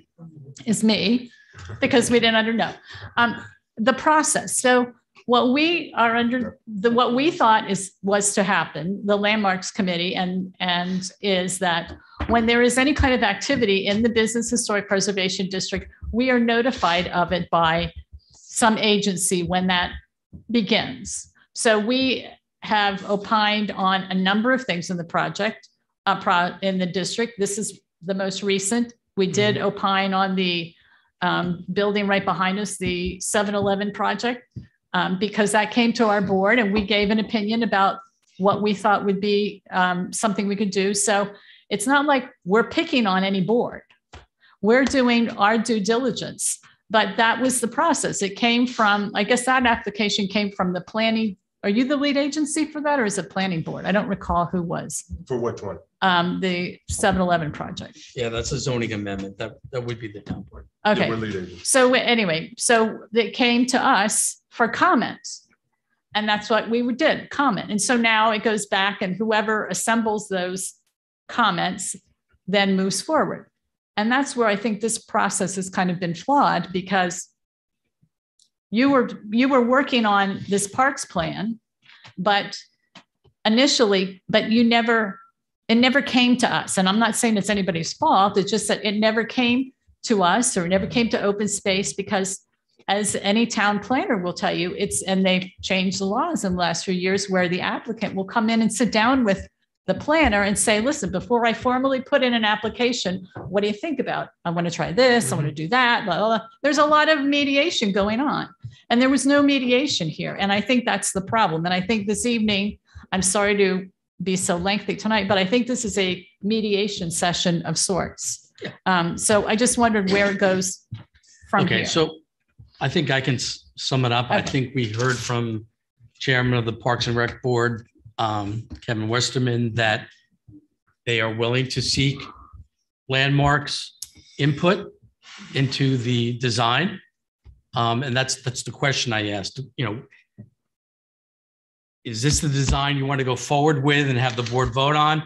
Um, or based on tonight's discussion, you know, and what I think what I did here was that Parks and Rec, nine-member board is willing to, to work with the landmarks regarding some renovation or project at Bailey Park. And I would say if the open space committee has um, rendered an opinion, they should be included at the table as well. Yeah, well, look, we're, I mean, I- we're, we're, we're a town of volunteers and boards and everyone's interested party, especially in the historic district. So, um, All right. With that, uh, Kevin, I once again appreciate your, your time, your effort, your enthusiasm, um, and, and your board as well. Well, people Um, here. You, um, we are known for our park system here, and I think you all do a great job, uh, doing that. Um, if this is a little hiccup in the, in your, your service, uh, you know, to the town, then, you know, let's, let's work it out. And I think we do have a, a path we can go down. But if you came thinking that there was going to be reversal, I mean, there's no reason to think that, in my opinion. We were told that. Okay, well, that, I wasn't told that, so, okay. No, we we were, we were told that. Okay, I just see, you know, keep the historic nature of it, go forward with the project. We'll see. And see what things- happens. Things can change. What you were told didn't come to fruition. We came here with the hope of, and the intent of trying to change it. Okay, So, okay. Good. thank you. All right. Thanks, Kevin. Okay, Great. great. Thanks, everybody Hey, else on all thanks. the boards. Thanks, That was Okay, thank you. Interesting discussion. Very interesting. I'm going to recuse I learned myself from the stuff. next one. Well, we always, we always learn a little something. Yeah. Just wait till he gets there. Good part of the job. Like, you want us uh, to continue down the, the line? We'll skip over number three. It's up to you. You want to take a minute so everybody, because I think everybody's leaving. Nah, I, I think we should go. Oh, you know what? Why don't you recuse yourself? I can read into the record. I recuse myself from uh, agenda item number three. Okay, so item number three is the double utility pole legislation discussion. Uh, we should really drop the legislation piece of that on future agendas. Because as we've uh, been informed from our uh, town attorney, uh, we don't have any kind of uh, legal authority to uh, take any uh, action, regulatory action in the uh, right of way or the um, where the utility poles are. But I've read some of the correspondence that has come our way by, by you. Do, do you, do you see like progress in that? I read some of these things, you know, and they're kind of lengthy. It's just like, come on, guys, get it together. We don't need two poles in every pole. Okay, Are so- we making progress there in your opinion? or Yeah, what? yeah, no, we are. Um, if, Seems like it. if nothing else, um, let me read into the record, the, uh, our latest, so we had a meeting, um, Councilman Cirieco, myself, and, um, our representative from, uh, NYSEG, Dylan Mayashi. He organized this meeting. And he uh, kind of summarized it for us uh, at the end of the day. He said, NYSEG has been working with the town of Somers to address the issue of having double poles within the town by helping the town navigate the NINJ system, N-J-U-N-S system. We have been we have been meeting to update the town on the status of NYSEG's role in the process. For the next meeting, we would like to include representatives from Altice and Verizon that can provide an update on the status of the NJUNS tickets for the town. Nin- Ninjas? Engines. Ninjas. Sounds like engine, but it is engines. We would be looking to have the next meeting, um, blah, blah, blah, blah. If you can please send me availability, the week's greatly appreciated if there's another contact within your organization. So to answer your question, Richard, to get Verizon and Altice in a meeting together, I think is mon- is monumental to start with. You saw what it took to get um, John Dulligan here. But, you know, what, what we've learned is, you know, we were told there's 500 double poles now in, in town. Really? Uh, because when they put in new poles, every time it, it, it escalates. So, um, You know, we, I'll tell you, there's a willingness on the part of NYSEG to, to really, you know, they suggested this, this next meeting. Good. So, um, Good. and I think, uh, you know, we will make some head, headway. That's It great. started with a legislative, some, some legislative changes, right? That we thought that We thought we could do. You know, sort of created a little bit of a cudgeon or Okay. a club, right? Okay. But that really didn't play out. But they came to the table and they're working with us. That's good. We'd Rather work with them. Yeah, They put together a database of all the outstanding poles and where they stand in the process of who has to do what next. So that's, you know, that's a pretty big accomplishment. Now the question is, is can we get them to move it forward? Yeah, And I, I'm hopeful that they will. It just, you know, it's just pushing uh, a lot of sunlight on this process and raising uh, its importance to us in our town. Mhm. And, you know, NYSEG's been pretty constructive. I mean, we went through that process, you know, three or five years ago. I remember well. And, uh, you know, I, I don't think they want to, they want to work. They want to work constructively. with As us. I s- It seemed, you know, they had a new CEO and certainly it was a new attitude. The first time we met with them in this room, it was like, it was just defense, defense, defense, defense, defense. Like, well, what do we hear? You're saying you can't do any better. But things did gradually change and, and I don't know the CEO, but they do credit him with uh, trying to be more uh, friendly with the towns and, and, and instead of defending policy, make things better. And that's what all of our job is, to make things better as we can incrementally. Right. So, No, yeah, I have, I have, to- congratulate you on your efforts. I have, So, I mean, essentially, we started a project that they're essentially looking at this and then a project manage this. So we'll be able to measure it. If, if, if it doesn't succeed or it's, it's not as fast as we like it to be, we're gonna know it. We're gonna know where and why. Uh, so, and, uh, yeah, we now have access to this program, which lists Yeah, nice. all the nice. poles and whatever. And um, interesting enough, uh, one of Altice field person um, responded to this email by saying, you know, because maybe he saw that John Dulligan was copied on it, but he said, we're going to send out a field crew tomorrow to take a look at what what our situation is there. So, um, you know, look, we're getting we're getting some movement on it. Yeah, great. Okay, so that's our, that's our update. Uh, Angle Fly condominium demolition discussion. Oh, boy. Yeah, so those condos down there, we inherited when uh, we, we purchased uh, this six hundred and fifty-four acres known as the Angle Fly Preserve. Uh, These are condos, I think, built in the eighties. Seventy-eight, I Yes, think. In, in the late 78. seventies. Seventy-eight, I Okay. believe. Um, And, you know, we, we put fencing around them to keep the, the kids out and they tear it down. And, you know, since we have our um, Somers Land Trust folks down there and the persons of Mike Barnhart and Bob McGregor, who do a great job, um, you know, they continually bring this up, you know, what are we going to do about these, these condos? So I said, all right, let's, let's see, let's see what the, what we're dealing with. So the first thing we did, we went out and had um, an assessment done of what type of hazardous materials might be there. Asbestos, you know, what have you, lead. And uh, we did get a report back on that, uh, which they did find it in some of the condos. Then, um, based on that, um, Jordan, who is this um, concern that we've been using, uh, how best to describe this. Um, Patty, you- maybe you, Jordan is a entity that has access to the state bid list. And instead of a local municipality taking a project and, you know, getting the specs all together and sending it out, getting bids back, we hire Jordan. They're pre, you know, they're only using people that off a state bid list. And uh, we've, we've used them on the Van Tassel House, saved ours, us a lot of time and professional. I uh, say that with a J, not a G. It's a G, Does it say Gordian or Jordan? Gordian. Oh, Gordian? I just want. Yeah.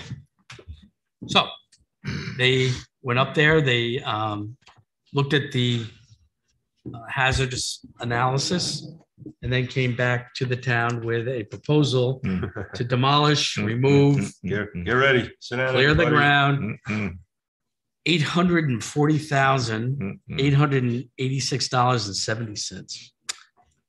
Wow. So that gave me pause. Now, These are the guys that go out and get contractor bids and summarize it, summarize it. and Yes. come- And get the best price that they can from all the Right, and I components. think the, uh, yeah, the contractor was ELQ that came in with that bid. So. uh, it- it- Did he have other contractors uh, on that? Or just one that came to Gordian?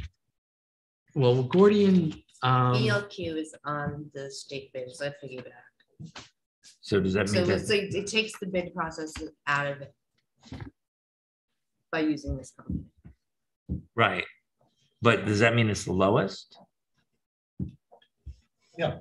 for, for, for that type of work. So Gordian brings us the lowest that can accomplish the task. Right.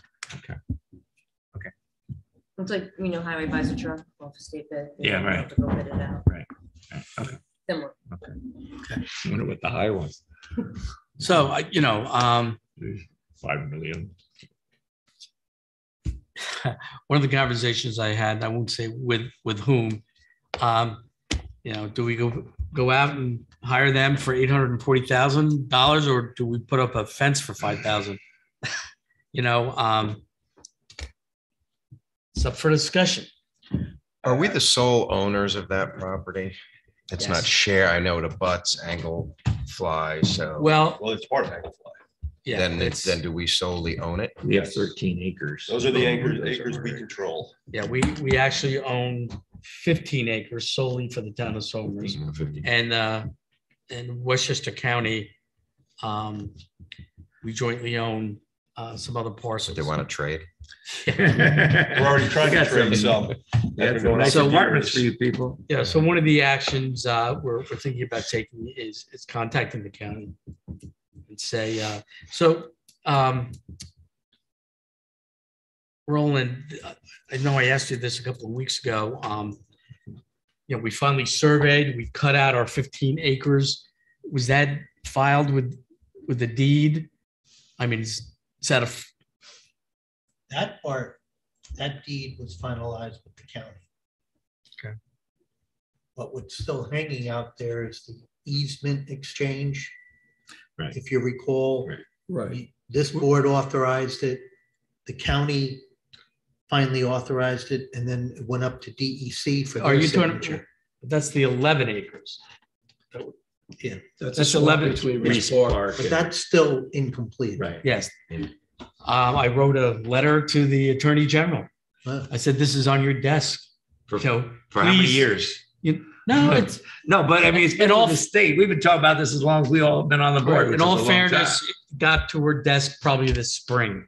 But uh, yeah, we've been working with DEC and I'm the calling county Tish tomorrow. to get it up there. Okay. But the, but the, uh, the deed with the county, that was finally finalized. Okay. Yeah. For the 15 acres. So, Now, whether or not they've recorded it or not, I don't know.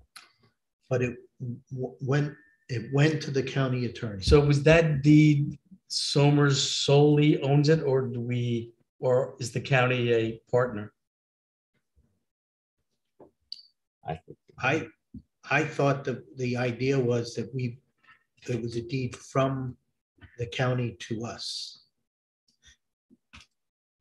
Well, the only thing that I'm thinking a little differently is because that park is open to Westchester Everyone. County residents. Well, maybe it was from the county to both the county and the town. Maybe that's what it was. So, well, if that, if there's a little opening that we can approach the, the county with, I mean, we approached them for assistance with the generator Yeah. at uh, Heritage. I don't know that we got any Waiting. response to that. Yeah. Um, but I think it, it's at least worth the effort to, you know, say there's a, there's a cleanup here that, uh, the town is considering. So, um, So we can't get this price down. It's One bid. What's that? That's No. one bid. I mean, And Yeah. ultimately what will happen, because we've had big projects and this has happened, is ultimately we would spend all the money and the time to bid it out.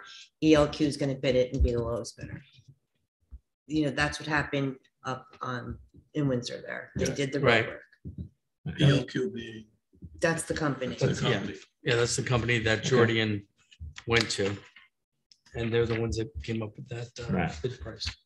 Can we get, I mean, grant money and just sort of happen concurrently with this or? You know, Oh, um, good luck. we will share this with our grant writer. That's certainly a, uh, an avenue to take. It's an And- environmental, there's an Yeah. environmental So- component here, right? Yep. That's what I'm thinking. If that's in the watershed, will there be money there to somehow protect water with whatever is up there that they found is there? So, you know, you were asking me for, uh, you know, suggestions. Um, you know, one of the things I mentioned was, you know, if we have a developer, um, yeah. that needs something from the town, we do a community benefits and he Yeah. demolished them. And the, the other one suggestion I made was, uh, have the Somers Volunteer Fire Department do a Yes, I controlled saw- burn. I saw the up there. to that. Yeah, I quick, about that I quickly heard from our environmental folks, uh, Uh, that's gonna pollute the, uh, the air. So it was just a suggestion. I'm, I'm, hey, I'm reaching, I'm reaching for Right. solutions. It might be instructive though, if you could get a copy of ELQ's response to Jordan to see where the bulk of the money. no, it's, it's in there. Yeah. it's all- Yeah, we Yeah. have it itemized. It's Is it itemized, in the Where we got that? disposal? half and half. It's in the, roughly. it's in the tear down and disposal. It's, it's six hundred thousand of it. Yeah, I mean, and they're, they're gonna leave the site, you know, where you can grass it over, basically. Is, So- is there any uh, reusable, I mean, is I is think there it- scrap material They've stuff? taken it all, you know, the It's all copper's been done? taken out of there. Well, that the has, but- Roofing and uh, everything else, You know, because and- that's some great terracotta roofing. Now, some might still be there, but Well, a lot. yeah, of the it's roofing has a lot to do with it. It, it's protected re- the insides of, of these. That's not to say there's not a mold issue and, but, you know, we could, you know, another thought was maybe, you know, two or three of these can be put together for, uh, you know, rehab as a nature preserve or, or something of that nature. You know, we, we had talked about that. But, um, you know, Mike and uh, Michael and uh, Bob, you know, have a, a job chasing kids out of there. You know, Oh, my God, yes, It's, it's just, for years. not safe You know, for them. maybe a part solution to that if we, we, we get that Reynolds house occupied eventually. You know, that'll be part of the, uh, the residents' responsibility would be to kind of safeguard that, those uh, condos. So uh, that is to be continued, but I did want to share the, uh, the bid with Oh, you and, and, and discuss it.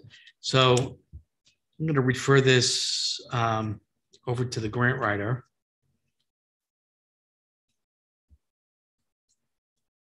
And we'll check with the county.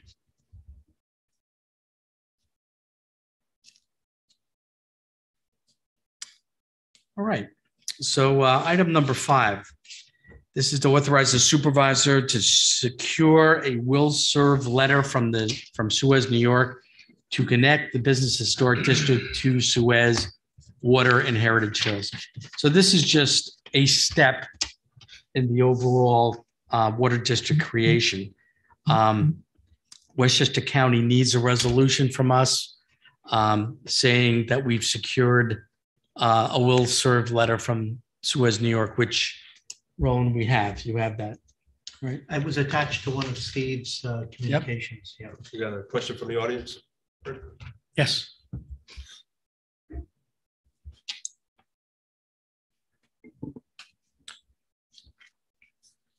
Arthur Singer, 803A Heritage Hills.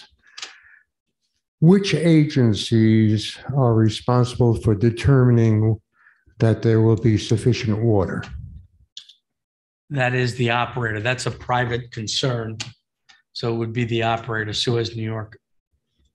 Which is now Oh, yeah, Veolia. The French are involved now. yeah, I That understand. was just those are- recently required, Yeah. yeah. right. Right. I'm sorry? You said it was, it's recently been a- re- acquired.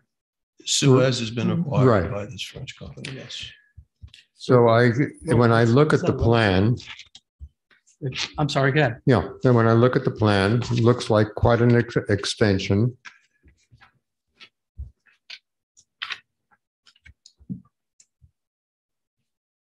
Yeah, this is under Suez heading, and that's dated November 22nd. Okay, so other areas have been added to, the. if I'm thinking about the, the four wells, there's a fifth which is not working for some reason.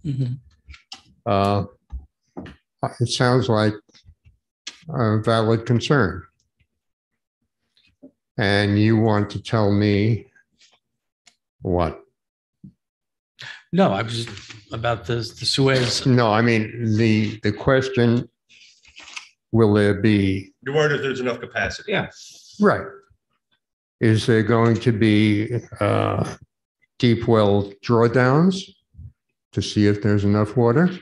So my, my understanding, and um, once again, this is my understanding, the Westchester County Department of Health, upon receipt of this will serve letter, will engage, you know, the new owner and Suez and do, do testings on capacity.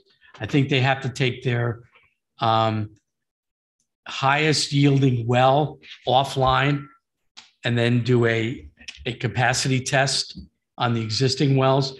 But that would address, you know, like you said, there's five wells and one is either incapacitated or not being used. Um, but yeah, the health department, that's why they are involved agency in this, this So- project. This is, once again, um, at the very beginning stages of, of negotiations. You know, we, we did this when we expanded the, um, the water district to Somers Crossing, Chico's, and, and the schools. So when this concept plan was put before us, I guess a few, you know, board meetings back, the engineers were in front of us. This was one of my concerns. I, you know, I asked them to set, I want them to tell us if there's enough capacity. Now, he's going to go through all the details, engineering details that Rick is describing here. I'm not sure what that is, but he has to tell us there's enough capacity. We don't, uh, to do the project. So When you say he, who He is, being the engineer, our engineer who's interpreting this for us, okay? One of his actions is to make sure there's enough capacity here. Now, you're also asking what legislative agency or regulatory body oversees this. I mean, I would go to the engineering folks to do that, but I think Rick No, that- articulated. yeah, that would be the Westchester County Department of Health. So they got to come back and they have to do exactly what I said, asked. You know, I would imagine Suez can come back and say, look, you know, here's the capacity. This is how I can add capacity, you know? Yeah, I think the Bring health the- department's gonna They got to validate what They they're, what they're, what they're stating. You know, they do testing. But as far as our response to the county and what's going on in this area, this is, a- this is the solution. And one of the other things I was concerned about, this doesn't commit us to anything. That was the first question I had tonight. Does this commit us to anything? No. What it does is it says, you know, I have a memo of, of understanding from uh, the supplier of water saying that he thinks he can handle it. okay, while I'm here, if, if, uh, I'm not that familiar with it, but there are issues in this area here where you need additional water? So the, the issue here is, um, there's a contaminant, uh, fluoro, PFOA, PFOS. yeah, so it's POFA, POFS, PFAS. And it's in fire retardant clothing. It's, I mean, it's pervasive in our environment. Firefighting foam. Um, and just last August, I guess it was, the state came out with a, um, an MCL um, level of 10 trill, 10 parts per trillion of the POAF. A, and we got some hits here at the townhouse and at the annex. So we had a retest. I think some of our readings, uh, the, once again, the, the action level is 10. We, we got 17 and 23 here, and I think 18 and something at the townhouse, at the uh, annex. So those get reported to the Department of Health. Department of Health put us on notice that we're in violation. Um, and what was, what's, what's our plan? So we had our town engineer, engineer in here a couple of meetings ago, presented us with options. You know, one was um, carbon, fil- setting up a carbon filtration system, which was um, these cylind, large cylinders uh, filled with carbon. Uh, They'd be housed in a building that was 12 by 16 feet. Um, Cost is probably $400,000. And then annual maintenance, you have to clear out the tanks, is another six grand. So that, that was something to digest. The other, another option would be, you know, we have a water supply in proximity to the townhouse. We, as a town board, have allowed the extension of it to Somers Crossing, like I said, to Chico's and the school. Let's, let's look into it for, for the historic district. So these are, Is it just the historic district? It looked kind of large to me on that fuzzy plan that I downloaded. okay, so yeah, at this point, it would run from, you know, wherever the connection is, whether it's at the intersection of Chico's and Heritage, there's a main there, uh, would come up to 100 here, down 100 to 116. So it would be limited, not even to the entire uh, historic district, because we're not considering going down 100. And ultimately, well, why we're doing this is to solve this water quality issue. Um, we And that issue is just in this area here. It doesn't affect, No, it's, it's Other hit and areas? miss. It's hit and miss. Um, I think the Willows have an issue with, uh, PO, uh, POAS. But And- nothing has been on those wells up there, the wells to the north of us. Uh, we asked the engineer, nothing was there. And as, as Mr. Baroni pointed out, and so did the engineer, it could be parcels literally next to each other and some have it and some not. So it's almost impossible, am I correct, Roland, in your experience? Yeah. To determine, okay, it's this area. Uh, even I think you're saying out on Long Island by an airport, that there are some at the airport and then right next No, door, Right here in Westchester. Westchester Airport. Yeah, So, yeah, it's a very strange thing. uh, You know, the, the only way I know I think about this, or I- when it came up, the, the film Dark Waters is about the Scott Academy Award, which will scare the bejesus out of you. Uh, But that's, it's about this stuff, PFAS. So here's the nuance. The regulator, the the regulator came out with this about 18, 24 months ago. Turns everything upside down because now you have violations all over and you have to come up with plans. So everybody's scrambling.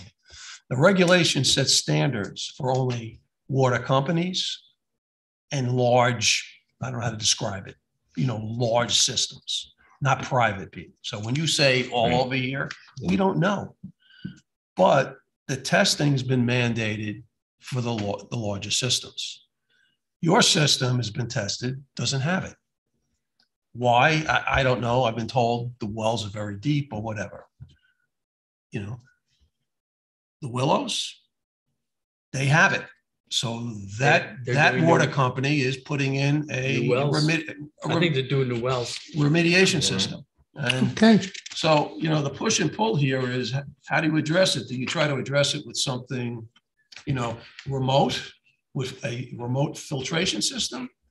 Which is very, very expensive? Or do you try to do something that's more permanent, like a sewer system, and try to capture a bigger, you know, a bigger spot? And, you know, we have the townhouse, we also have all the, the restaurants here. Um, They would be very, they, they would love to get, you know, some sort of an interconnect like this.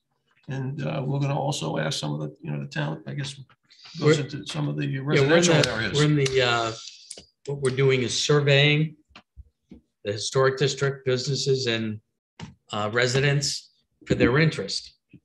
You know, if no one wants to connect to the, a water supply, then maybe it's, it's not economically feasible. Well, how are the restaurants dealing with it presently? They're, they either buying that water or they're not, you know, using I don't it. know. Yeah, I'm not, I don't know. I know uh, the one restaurant here has two wells. Um, so, you know, they may have just switched wells, but, you know, I, I, that's a private concern. I, I don't know how they're Right. Okay, necessarily dealing with But it. in answer to your first question, will there be enough water for you? Um, That's what the engineers and the Department of Health have, that, that's their Like to job to make sure that you can still take a shower.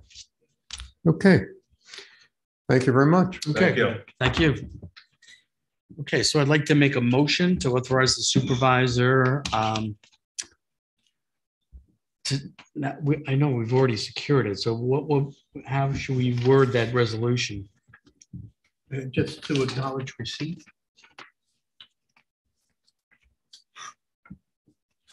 Okay, make. uh, Make a motion to authorize the supervisors to accept the will serve letter from Suez, New York to connect the Business Historic District to um, Suez Water and Heritage Hills. which letter is dated November twenty-second. Thank you. Do I have a second? Second. All in favor? Aye. Aye, so moved.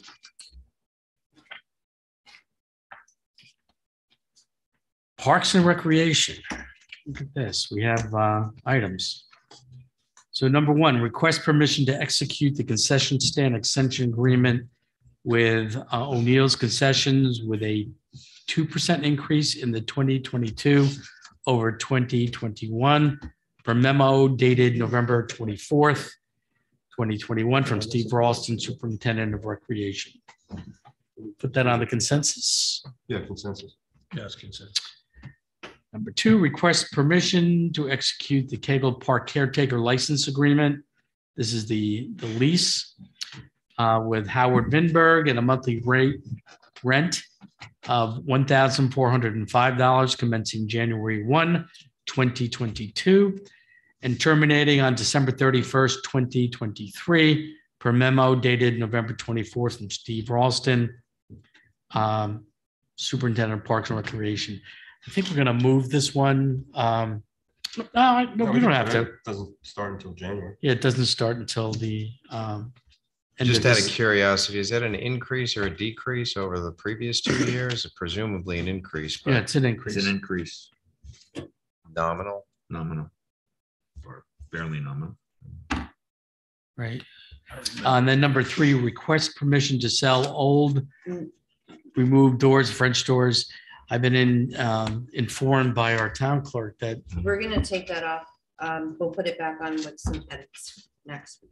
okay, so we're gonna remove, There you go. yeah, because they are town-owned items. I mean, the discussion was, do we throw them away or try to sell them? And we had someone that was interested in purchasing them, but apparently you cannot do that. So, Not just off the bat like that. right, it's like a bid you'd have to put out or something like that. Okay. Can Lewisboro run into a problem like that with a piece of land? You can throw a desk. I know we can. Is a question. Can I speak to that just one second? Yeah. I'll be brief. Um, me again, from the Historical Society. In the future, um, this actually was something that I had tried to spearhead, but is there a way that those monies, we can recycle things like that? Because some of these doors and windows and other properties and architectural salvage does command a fair amount of money and it's a way that the town could get additional revenue. So, um, Well, that's, that's, I'm- what what you're talking about that's, doing, what right? that's So what we're I'm gonna- talking about. Yeah. I so mean, I, we haven't done that in the past.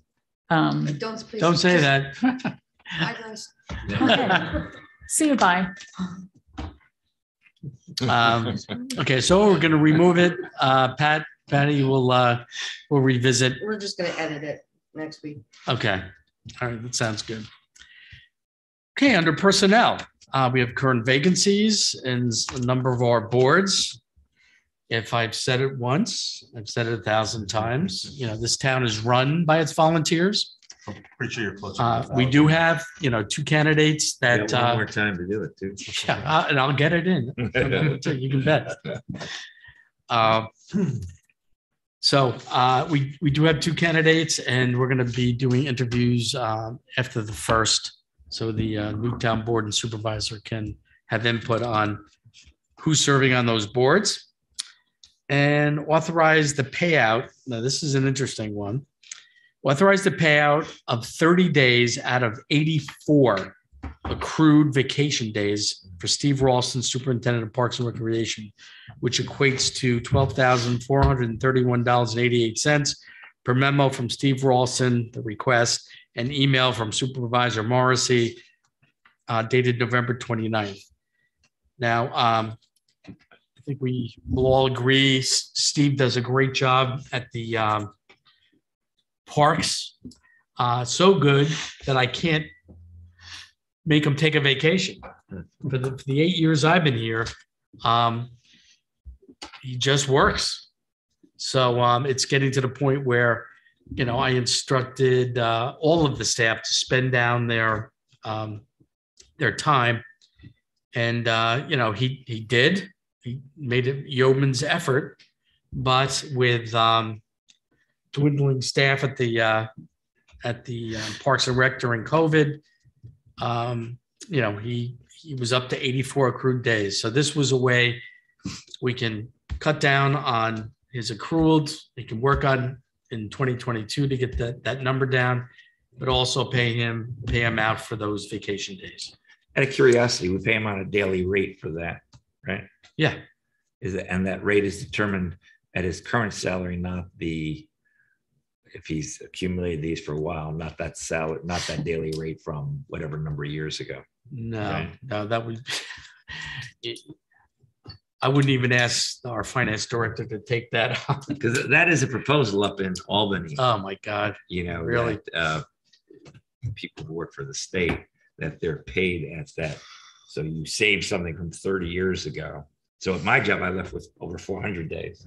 And that you'd be paid. You're another at workaholic. the- At the rate, uh, well, my wife didn't let me stay home. I think that was really. Oh, that explains. it. Yeah, well, you know, we got the whole thing, but uh, you, you get paid at that rate. It's a way that's, that the state has talked about saving money by paying you at the rate of when you save the day, not now. So I just wondering. I'm not, I'm not saying it's fair or unfair, or I just wonder. Right, so I'm gonna make a motion um and move this so that we can get him paid by the end of the year. Was there a rationale between the number thirty? Nah, Why thirty out of eighty-four? Why not all eighty-four? That was the request. yeah, Okay. yeah, that was agreed upon. Uh, so I'll make a motion to authorize the payout. Second. All in favor? Aye. Aye, so moved.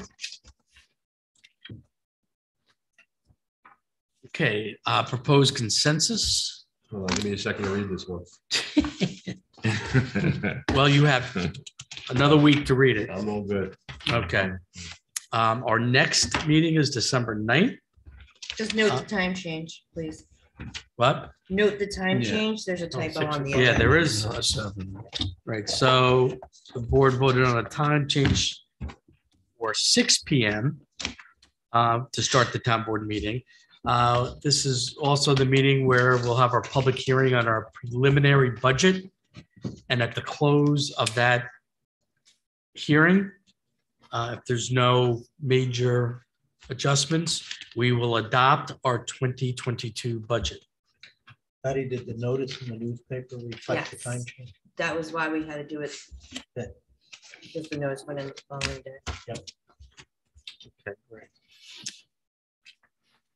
Okay, and that concludes our business of uh, this evening, December 2nd, 2021. I'll Just say something quick, um, just on the public comment, uh, you know, I think uh, Jennifer and Barbara, I guess, they did their public comment. I think they were probably expecting some sort of response or whatever. From, from my point of view, I'm just thinking that they should, you know, put together maybe a master plan, you know, re-up and kind of relook at, uh, you know, the, you know, those larger needs that they, they see over the next five years. And then we'll figure out how, you know, how they should be funded. Yeah, I, They, they should also reach out and instead of coming to public comment, I- have it put as an agenda item. yeah, well, Yeah, I mean. and I- I- and I- and I- didn't know they were We did have a And- budget and- and I- and I discussion. I think was a surprised at that too. Yeah, so I, I mean, just, I think constructively, I think that's the way to go. yeah, so But Ms. Daddio has stated right from the start that she's very constructive. She's looking for, Yeah. you know, different ways of doing things. I- I think she just- Objects. to them. So our building department has responsibility for many of these items that she brought up.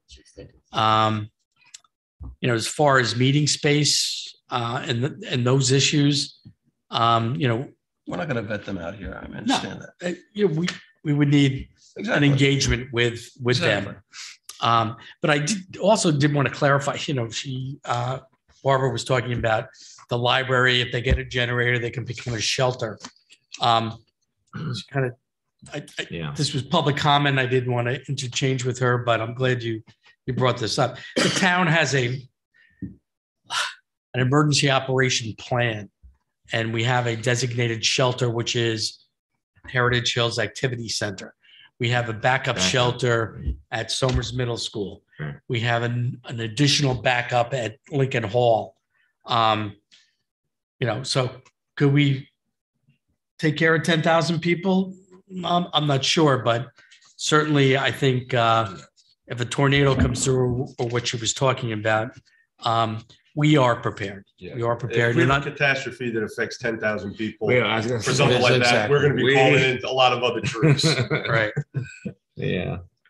So, uh, but you know, once again, we appreciate the, the comment. Um, but I will direct, uh, Jennifer to put, put all these thoughts together and get them over to Tommy Tuma, who's got responsibility for, uh, building maintenance.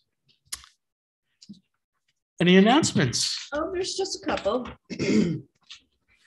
The town of Somers holiday celebration is going to be this Sunday, December fifth. uh, Here at the townhouse. It starts at three P M with the, the Knights of Columbus lighting the nativity scene dedicate, or it's a nativity scene dedication.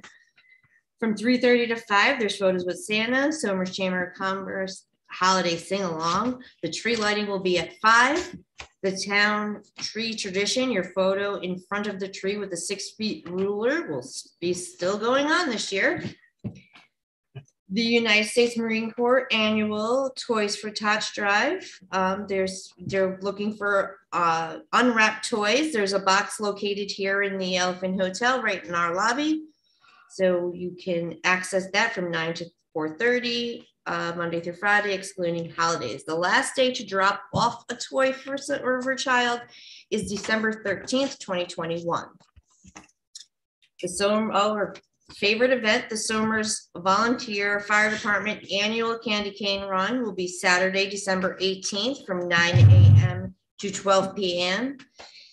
Santa will be uh, on the back of the fire truck check the flyer under events on the town website. Oh, no, I'm sorry, on the Town of Somers Volunteer Fire Department website, which is www.somers SVDF, SFD.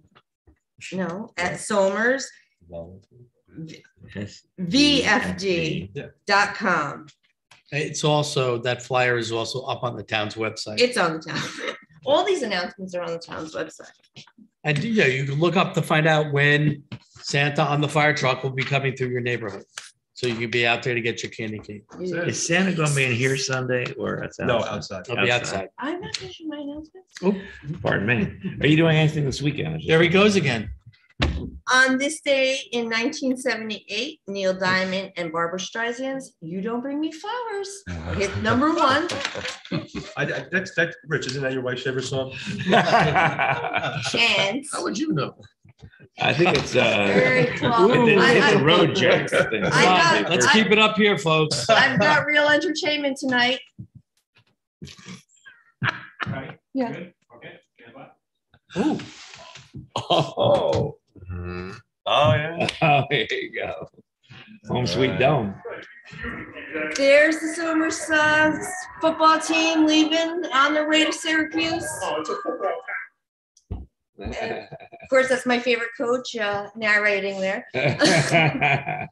But uh, that was uh, my- my favorite coach's clip from today on their way to get on those buses. So good luck, boys. Tomorrow, three o'clock. So I'll be there. exciting. Dome. that's So right. exciting. Bring, bring another title back to Titletown. So I'll text you if I have to. I'm going to it, so I'm looking forward to it. Should be fun. It would have Are to you be going the up? first Yeah. town in New York State twice has won soccer and football in the same years. It's not the whole, you know, doesn't say everything about a town, but it's pretty cool. We get But you know what? two Rich? in one year I think it's the twice. only one But to it's do the it weirdest thing though, having games at noontime and three o'clock on a Friday. Mm. You know, it's just, because I saw, I saw a lot of parents who want to go up, and they're like, you know, I gotta work. Yeah. You know, I have an office up there, so they- I'm going up to the office and, and then going to the game. basketball, they start from ten o'clock on Friday morning. Yeah, But they that's go all weekend. Who cares? Okay, you tickets. Well, Rick, as you know, the um, there's a, an internet way to view this as well, and it's nfhsnetwork.com. And anybody Stream can the view it game. on their computer or their phone and the restaurants. And why don't you mention some of the restaurants that are going to be? Well, we talked to them all, and uh, a few of them having view parties are Il Forno, Barnwood, um, and uh, La Fontaine are also interested in signing up for it. So those are just some of the places. Cool. All have been notified. And but if you're going to use that streaming app, you do have to pay the ten It's ninety nine. 10 yeah. Oh, it's ten ninety-nine now? Mhm. It's been well. You it's get it for a the- month. for But the you can save that if you go to one of these restaurants. Yeah, yeah, go there. Or If you- if you- You should have downloaded it. You should have. You should have done it for the subscribed first three game. Weeks ago, would've and you would have had the whole month. Would be Which two I- dollars, two dollars a game. Which, which I did, and I haven't, but I, I make what to a restaurant. This is too big to sit at home and Yeah. scream. They, apparently they have, uh, four buses of kids Five. going, five now? They're up to Mm. five. It's gonna be a lot of kids up Wow. there. Mhm. It's So- exciting. It's a, it's a day off for twenty five bucks. That's what I. I- They get to leave after, uh, they get to leave after. Why are you second going to. Syracuse? Not sure, but That's it. They're, Nice. they're gonna get up there and go, there's a football game going on? Yeah. check the weather. Now, we wish them uh, the best of luck. Ah, And, yeah. uh, you know, Anthony DiMattio's first year as a coach. I know, it's to the state. unbelievable, right? I mean, this is dream. We're Things of playing, uh, dreams are made of. Dreams are Playing made a good of. team, Wish Wish you would- Brothers Academy. And Yeah, they're good. Eight, I think they're eight and three, we're twelve and out. They're Ooh, really good. I hope that's an indication of something. But that, this is almost like a home game from there, because I think. They're right there. Syracuse. Yeah. They're right Uh, there. Yeah, Well, that's why we went up a day ahead of time to get uh, all rested. We're not jumping off a bus and they had good Okay. practice Jumping on the field. evening. Yeah. Got They're five buses. of In their people going out. hotel, doing well. very cool. I'm Very looking forward to it. Hopefully they can sleep. All right, any other issues, concerns? On this day in eighteen oh four, Napoleon Whoa. crowned himself Emperor of France. Wow. Himself. Yes, he did. You almost got no fun facts today. Okay. There you go. Okay, well, obviously, uh, we wish the uh, Tuskers uh, best of luck tomorrow at your uh, three o'clock game under the uh, Carrier Dome.